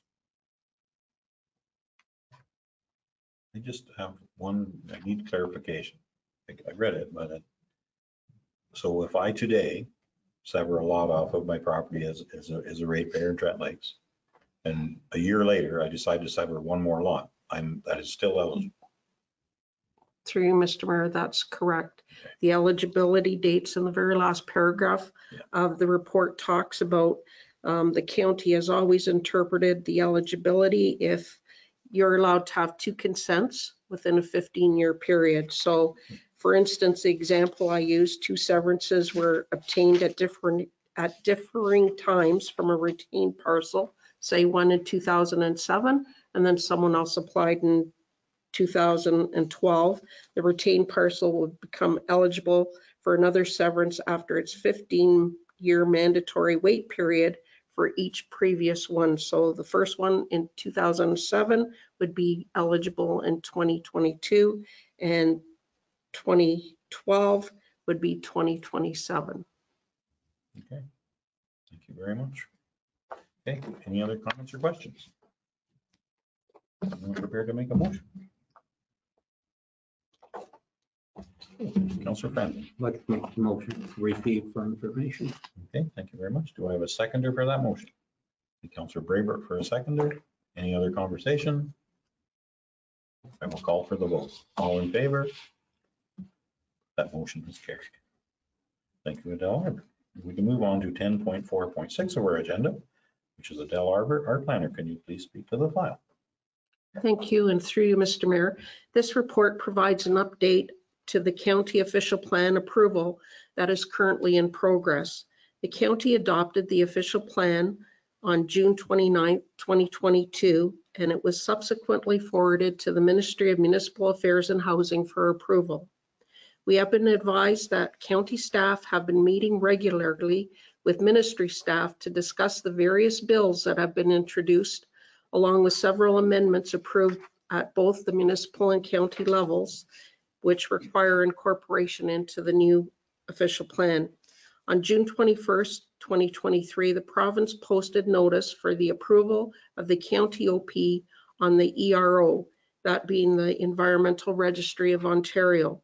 And the review period is 60 days, which municipalities or any person could provide review and comment. And this period ends on August 20th. Providing comments on the ERO is an opportunity to request modifications to the official plan.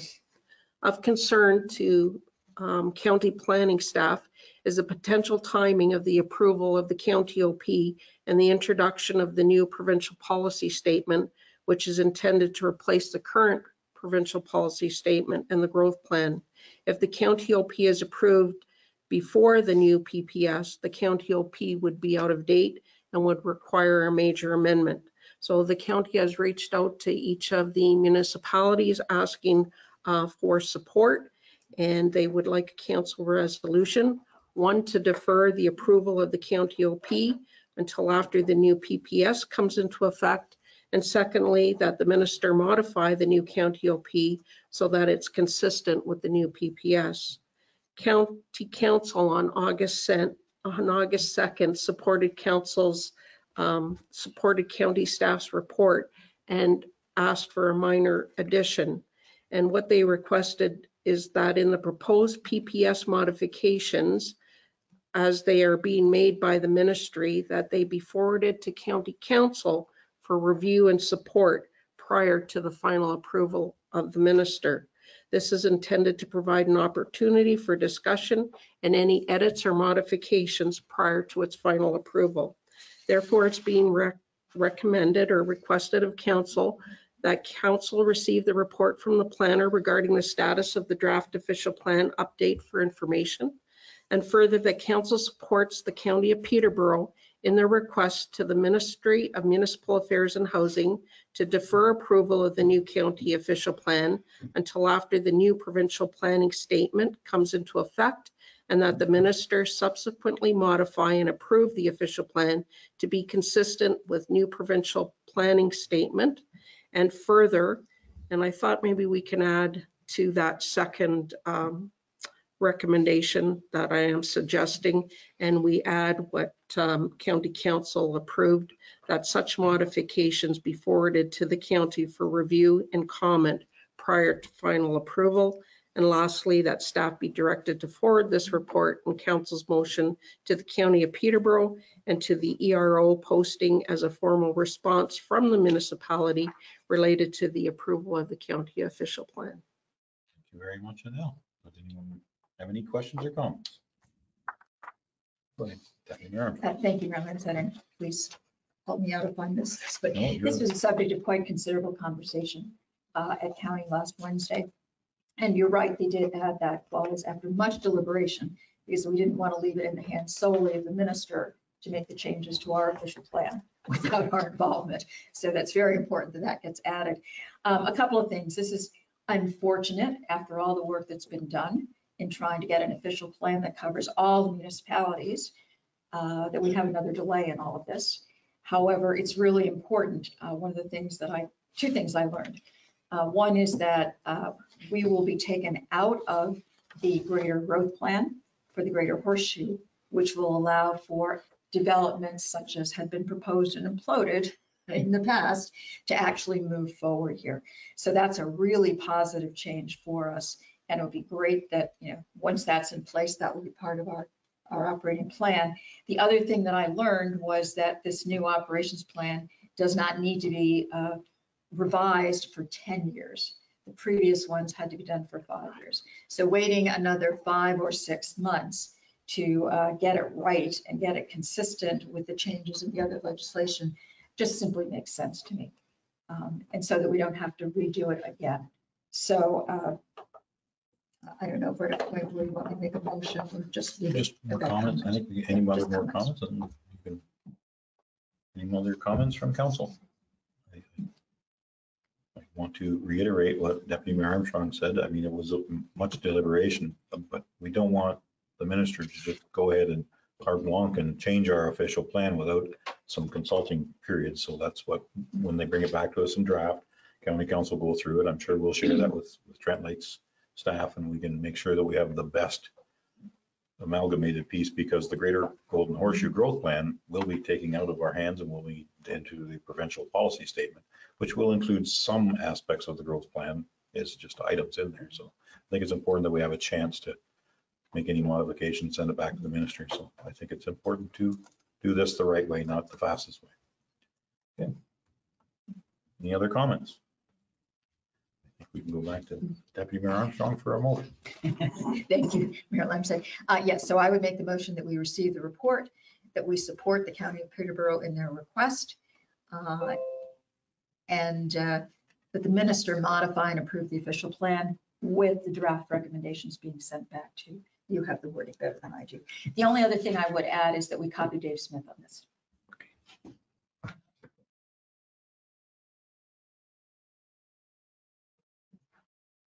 Do I have a seconder for that motion? Councillor Franzen for a seconder. Any other conversation? I'm seeing none. I will call for the vote. All in favor? That Motion has carried. Thank you very much, Adele, for your report. Okay, we can now move on to ten point four point seven of our agenda.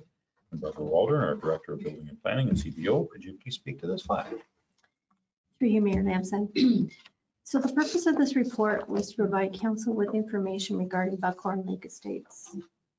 The purpose was not to go into the depth into the subdivision agreement, but to focus on the agreement in place. This agreement expires December 31st, 2026. The agreement purpose was to allow Buckhorn Lake Estates Association to be in care and control of Block E through the statement and whereas the municipality agrees to permit the association to develop, use, and otherwise manage the said Block E for the common benefit of the owners of properties within the said subdivision agreement. Trent Severn Waterway is another important item to recognize.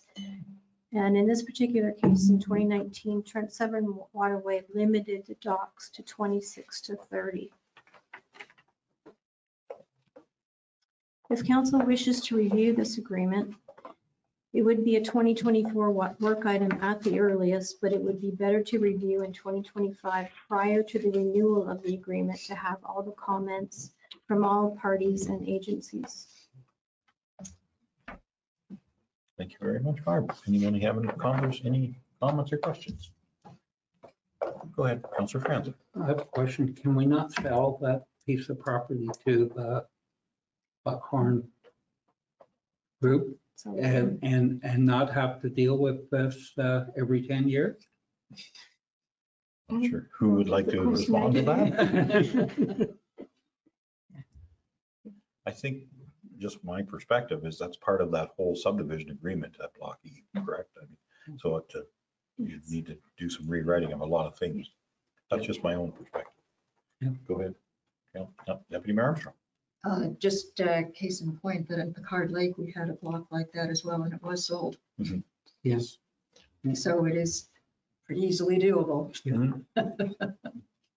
Go ahead, Councillor At Brandon. Howard's Glen, uh, the property belongs to the Pirates Glen Association, where we have the dock and, and we have it on two different locations. Yeah. Plus the, the park. Interesting. I don't know if we have a plan for that. I I do appreciate that you highlighted some of the Yeah. wording in that for us to concentrate on. Thank you very much for that. Okay. I mean, we have a plan in effect till, I believe it's 2026.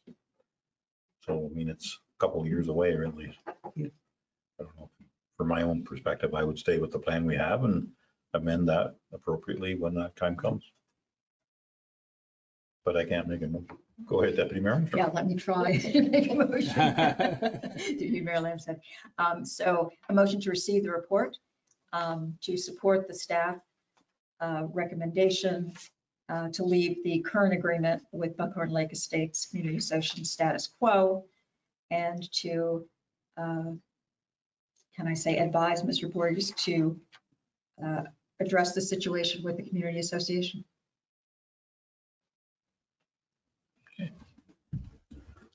Anything else? Anything anything more to that? Okay. Do I have a seconder for that motion? Counselor Franzen for a seconder. Any other conversation? I will call for the vote. All in favor? That motion has carried. Thank you very much, Barbara Waller. Okay, we can move on to item 10.5 of our agenda, which is finance. Donna Taggart, our CIA treasurer, CIO treasurer, can you speak to file 10.5.1? Thank you. Thank you, and through you. Before you for information is accounts payable for June and July of 2023. Okay, does anyone on council have any questions? Go ahead, Deputy Mayor Armstrong. Uh, Thank you, through you, Deputy Mayor. Um, Just a question that I asked you, uh, Donna, earlier. On page 120 of our agenda, uh, there are five invoices from Cambium for AMP, which I know is not administrative monetary policy or penalty. So could you share with us what that is for? It's about $18,000 in total. Thank you, and through you. That is the amount paid to Cambium for monitoring the closed landfills, eh, which is a requirement. So it's the annual monitoring program. Great. Way too many acronyms. Uh-huh. Thank you Thank very you. much for the clarification. Thank you for the question. Any other questions regarding this one? Seeing no hands, is anyone prepared to make a motion? Councilor Braybrook, go ahead. Through your mayor, I'd like to make a motion that council receive the report. Do I have a seconder for that motion? See Councilor Franzen for a seconder. I will- Any other conversation? Seeing none, I will call for the vote. All in favor? That motion has carried. Thank you very much, Donna Taggart. Okay, we can move on to administration, which is 10.6 of our agenda. We can go to 10.6.1. Rachel Stark, our Economic Development and Marketing Coordinator. Would you like to speak to this file? Thank you, and through you. Uh, Before you is a report regarding a nonprofit meetings and council chambers policy. Staff and council were approached by a resident at the May 2nd council meeting to request the consideration of allowing public meetings for nonprofit groups to take place in the municipal office building. As there were no policies currently in place that address this topic, staff were directed to create a policy for this which would include certain criteria. The draft policy was created and is attached to this report. The recommendation is that council receive the report and further that council approve the nonprofit meetings in council chambers policy. Thank you. Okay, thank you very much, Rachel. Does anyone have any questions? I am seeing none. Is anyone prepared to make a motion? I'm seeing none. Councilor Braybrook, go ahead. Through your mayor, uh, make a motion that council receive the report. The council approve the nonprofit meetings and council chambers policy. Do I have a seconder for that motion? Deputy Mayor Armstrong for a seconder. Any other conversation? I'm seeing none. I will call for the vote. All in favor? That motion has carried. Thank you very much, Rachel. Okay, we can move on to 10.6.2 of our agenda, which is Rachel Stark, our Economic Development and Marketing Coordinator. Would you like to speak to this file? Please. Thank you, and through you. Uh, Before you is a report, report regarding the draft internal communication strategy. As after it was reviewed by staff, the draft strategy was brought forward to council at the June 20th meeting with a request to receive comments from council by July 7th. No changes were requested, therefore no changes have been made to the draft strategy since the last meeting. Staff are now looking for approval of the internal communication strategy in order to begin implementing the goals. Thank you. Okay, thank you very much, Rachel. Does anyone have any questions or comments? I am seeing none. Is anyone prepared to make a motion? Go ahead, Deputy Mayor Armstrong. Uh, Thank you, Mayor Lamshead. Uh, Motion to receive the report and to approve the internal communication strategy. Thank you very much. Do we have a seconder for that motion? Counselor Franzen for a seconder. Any other conversation? I will call for the vote. All in favor? That motion is carried. Thank you very much, Rachel. Okay, we can move on to item 10.6.3 of our agenda, which is Donna Taggart, our CIO treasurer. Can you speak to this one? Thank you, and through you. So before you is the Q2 reporting for 2023. Uh, You will see that departments continue to be busy. I I did just want to bring a few highlights just in order of the report. Uh, There was the completion of the council strategic plan during Q2. An updated grant policy with a matrix was adopted by council. There was the hiring of a third-party after-hours by law enforcement agency and the implementation of cloud permit planning module. Uh, There was a major project undertaken by our corporate services department where they inventoried and organized building permits. Uh, The creation of the internal communications plan. You will note the report shows that there has been a leveling off of building and planning permits and applications, which is consistent with other county lower tiers and also is a province-wide finding according to MPAC. The Fire and Emergency Services Department hired 13 new firefighters and they have started training. And four of our existing firefighters have now completed the firefighter one and two training through the Eastern Ontario Fire Academy. There were 308 tons of garbage received by our transfer station staff, which is fairly consistent to 2022 a cleanup of the roadways on, for Earth Day on 20 municipal roads, which resulted in 42 bags of garbage being collected, 116 work orders completed by recreation and facility staff, and there was the installation of self-watering planters and hanging baskets throughout Buckhorn. So we do have staff from most departments here to answer any questions you may have. Uh, So just for council information. Thank you very much, Donna. Does anyone have any questions? Go ahead, Deputy Mayor Armstrong. Thank you, Mayor Lamshead. Um, First of all, I'd like to thank uh, staff. This is a, has been a work in progress and it is now really a very excellent report that's not done by many municipalities. So appreciate that. And I think it was really excellent for you to take the time to go through the highlights. So I'd like to see that in future uh, presentations. I think it's important that you point out just some of the key messages from it. So thank you. Thank you. Thank you very much. Any other comments or questions? I'm seeing none. I just have a comment. It's very much like Deputy Mayor Armstrong's. It's nice to have all that in one place, one time, three or four times a year. Gives you a chance to see where we're going, what we're doing right, what we're doing wrong. And I think we're, we're in a good direction. I think it's great that we have a good chance to support our staff. Thank you very much for that.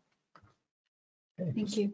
Anyone prepared to make a motion? Go ahead, Councillor Franzen. A motion to receive. A Motion to receive. Do I have a seconder for that motion?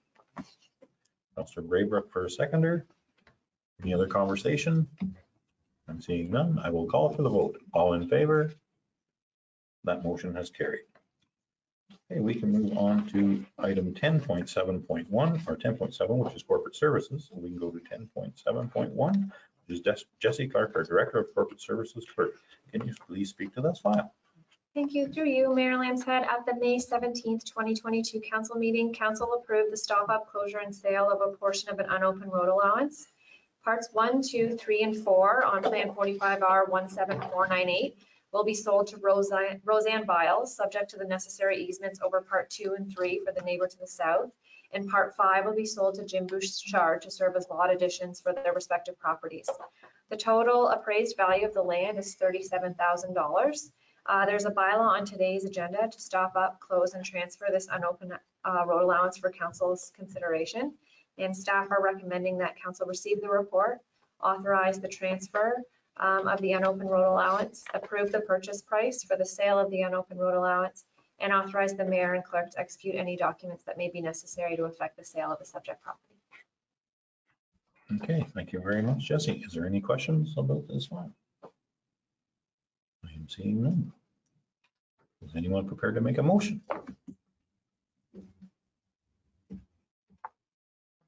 Counselor Braybrook, go ahead. Uh, Through you, Mayor, make a motion to receive the report and also that council authorize the transfer of the portion of the unopened road allowance as specified. And the council approve the purchase price for the sale of the unopened road allowance uh, as stated. And that council authorize uh, the mayor and clerk to execute any documents that may be necessary to affect the sale of the subject property. Okay, thank you very much, Counselor Braybrook. Anyone else, anyone prepared to second that motion? That would be Deputy Mayor Armstrong for a second. Okay, any other conversation? I just have one little comment. Nice to see that the value of a road allowance is not eleven hundred dollars anymore. It's thirty-seven thousand. Yeah. Thank you for the appraisals. Okay, I will call for the vote. All in favor? That motion has carried. Thank you very much, Jesse Clark. Okay, we can move on to item 11 of our agenda, which is correspondence for information. We can pull anyone out you'd like to speak to, or we can receive them all in one motion. Is Anyone prepared to make a motion? Go ahead. A motion to receive all uh, uh, correspondence for information. Okay, do I have a seconder for that motion? The Deputy Mayor Armstrong for a seconder. Any other conversation? None, I will call for the vote. All in favor? That motion has carried. Thank you very much. Okay, we can move on to item 12 of agenda, which is correspondence for action. Again, we can do them all at once, or we can speak about them individually. It's entirely the decision of council. Go ahead, Deputy Mayor Armstrong. I thank you, Mayor Lambshead I'd like to pull out 12.2 and 12.5, please. Okay. We can Entertain a motion to do the rest of them in one motion if that's the only ones we want to pull out. Anyone prepared to make? Deputy Mayor Armstrong, go ahead. I will make the motion to uh, accept or receive all of the other items under correspondence of action. Do I have a seconder for that motion? Councillor Braybrook for a seconder. Any other conversation? We'll call for the vote. All in favor? That motion is carried. Now we can go to item 12.2 of our agenda and speak to that item. Would anyone like to speak? Yes, through you, Mayor, I just wanted to, um, just wanted to thank uh, the mayor and council uh, for providing this, uh, this letter to the uh, Peterborough OPP detachment uh, in support of their uh, application for the bail reform uh, and warrant apprehension grant. Uh, As the co-chair of the uh, Trent Lakes uh, Police Services Board, uh, uh, It's important uh, to, it would assist, uh, it would benefit our municipality as well as the other municipalities within the, uh, uh, within the county. Okay, thank you for your comments. Any other questions or comments? Go I ahead, have a Councillor comment. Brennan. Uh, Yeah, uh, uh, if, if it's going to make bail more difficult to get for people that have been charged with crimes that are innocent until proven guilty, I have a real problem with that.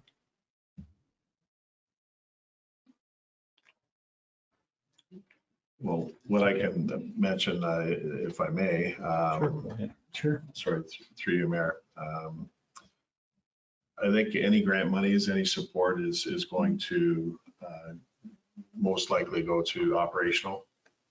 Um, As far as um, developing any sort of units uh, that are monitoring people that are out on bail Okay. and, and that sort of thing. It's not necessarily, um, uh, it's more of a support, Okay. uh, operational support. Um, And I know uh, when I was uh, in my previous life, in my previous work life, uh, we did have uh, bail unit, uh, that sort of thing. And then, uh, you know, cutbacks and whatnot, and those bail units were were disbanded and whatnot.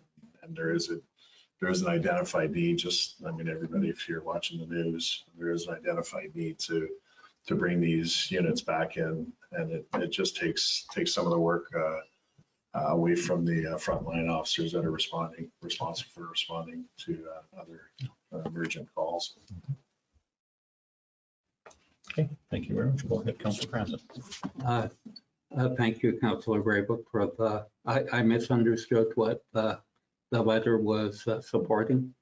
I thought it was supporting uh, reviewing the uh, bail. But, but a monitoring program, I certainly would support that. Yeah, through you, Mayor, just uh, further clarification, um, through the Ontario Association of Police Services Board, there was uh, correspondence sent out um, for input from the membership, from the Ontario Association of Police Services, the OAPSB, um, looking for recommendations. There were recommendations from the Solicitor General as far as um, adjustments to the uh, the bail reform, uh, or the bail program. Uh, And that includes um, further training for uh, justices of the peace uh, to further educate them on, on, uh, you know, uh, the releases and whatnot, and who should be released and who shouldn't be released, and, and more uh, emphasis put on uh, offenders that uh, are prone for- to uh, recidivism. So, and it's, it's that sort of thing. So, but I, I know what you're saying, but it, there was, there was an actual more of a global uh, effort to address, uh, you know, the the violent offenders that are, that are, re- you know, repeat offenders. and- Yep. And, you know, there should have been more, more control over them, so to speak. One, one last comment. Sure. One one of my Councilor Randall. major concerns about bail is people that can't afford to uh, bail and are languishing in prison and may, may not uh, be guilty of the crime that they were charged with. Right, this, through you again, This Mayor. is- yeah, this is- Yeah, this is, I, I mean, it's, it's more concentrated. It's not, it's not a big net to try to capture every person that's, uh, that's trying to obtain bail. They, they have to go through a process. Uh, any, any offender that's, uh, trying to get out on bail, they, they have to go through a judicial process. Uh, It's, it's called what's known as a show cause, show cause why you should be released. And there's different, I mean, you get into the minutia about it, but Oh, yeah. but generally, um, you know, if an offender, if it's, if it's a minor offense, uh, and it's, it's not a violent offense, that's not the spirit of this. Uh, The spirit is uh, violent offenders. Um, And then what's, um, what's prompted this whole uh, discussion and, and, um, and process is the fact that there are violent offenders that are being released and they're recommitting violent offenses, uh, shootings and whatnot. So, so it's to, to gain more, uh, or gain more control over, over the process of, of release and that's, or regain the control of it. So. Okay, thank you very much, Councilor Baker. Go ahead, Deputy Mayor Armstrong. Uh, A motion to support um, 12.2 with appreciation to the fact that we have some expertise on Yes. the council in that area. Thank you very much for that caveat. Do I have a second for that motion? Thank you very much, Councilor Braybrook, for a seconder. I will call for any other conversation.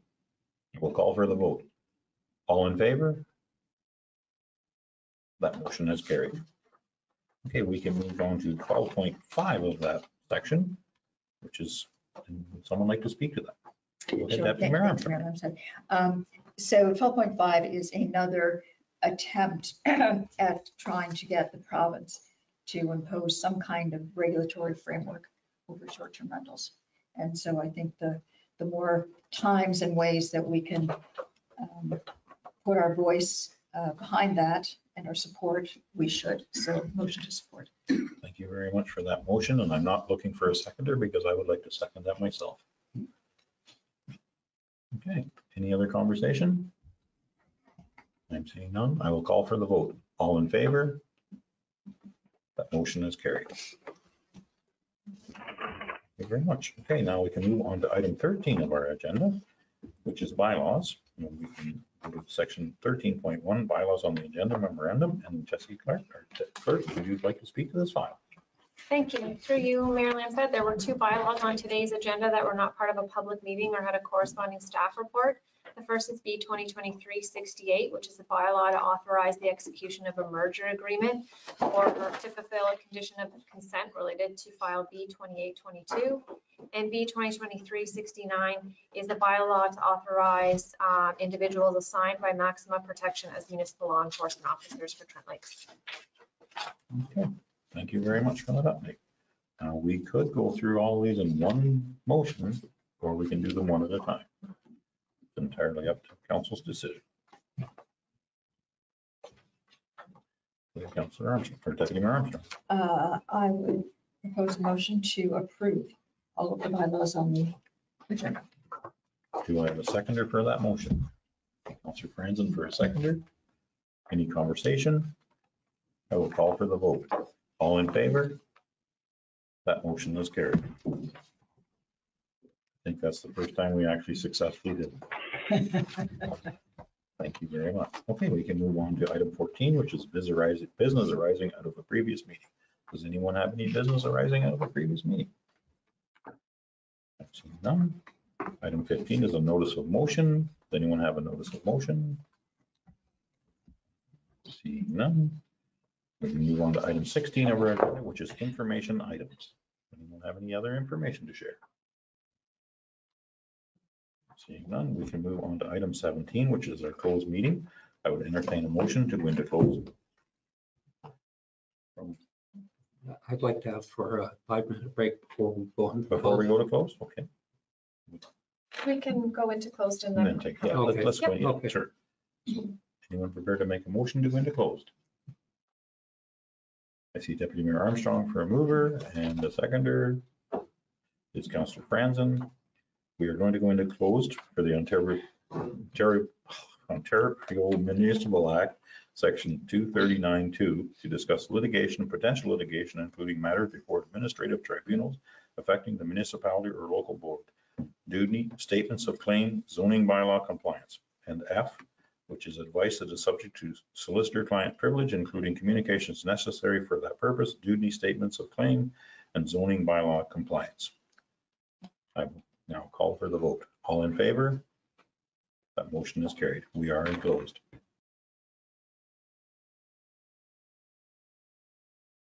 We can move on to 17.2 on our agenda, and I would entertain a motion to rise from close. Deputy Mayor Armstrong for a mover, Councillor Franzen for a seconder. I will call for the vote. All in favor?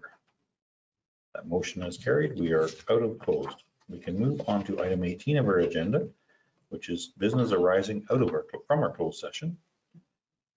We can move on to 18.1, which is the adoption of the minutes from our closed session. Anyone prepared to make a motion? Councillor Braybrook for a mover. Councillor Franzen for a seconder. I will call for the vote. All in favor? That motion is carried. We have adopted the minutes from our closed session. We can move on to item 19, which is the adoption of the confirming bylaw. I would entertain a motion for the same. See Deputy Mayor Armstrong for a mover and Councillor Braybrook for a seconder. I will call for the vote. All in favor? That motion has carried. We can move on to item 20 of our agenda, which is adjournment. Does anyone like to make a motion to adjourn? I see Councillor Franzen for a mover. I see Councillor Braybrook for a seconder. I will call for the vote. All in favor? That motion has carried. We are adjourned. Thank you, everyone. Thank you.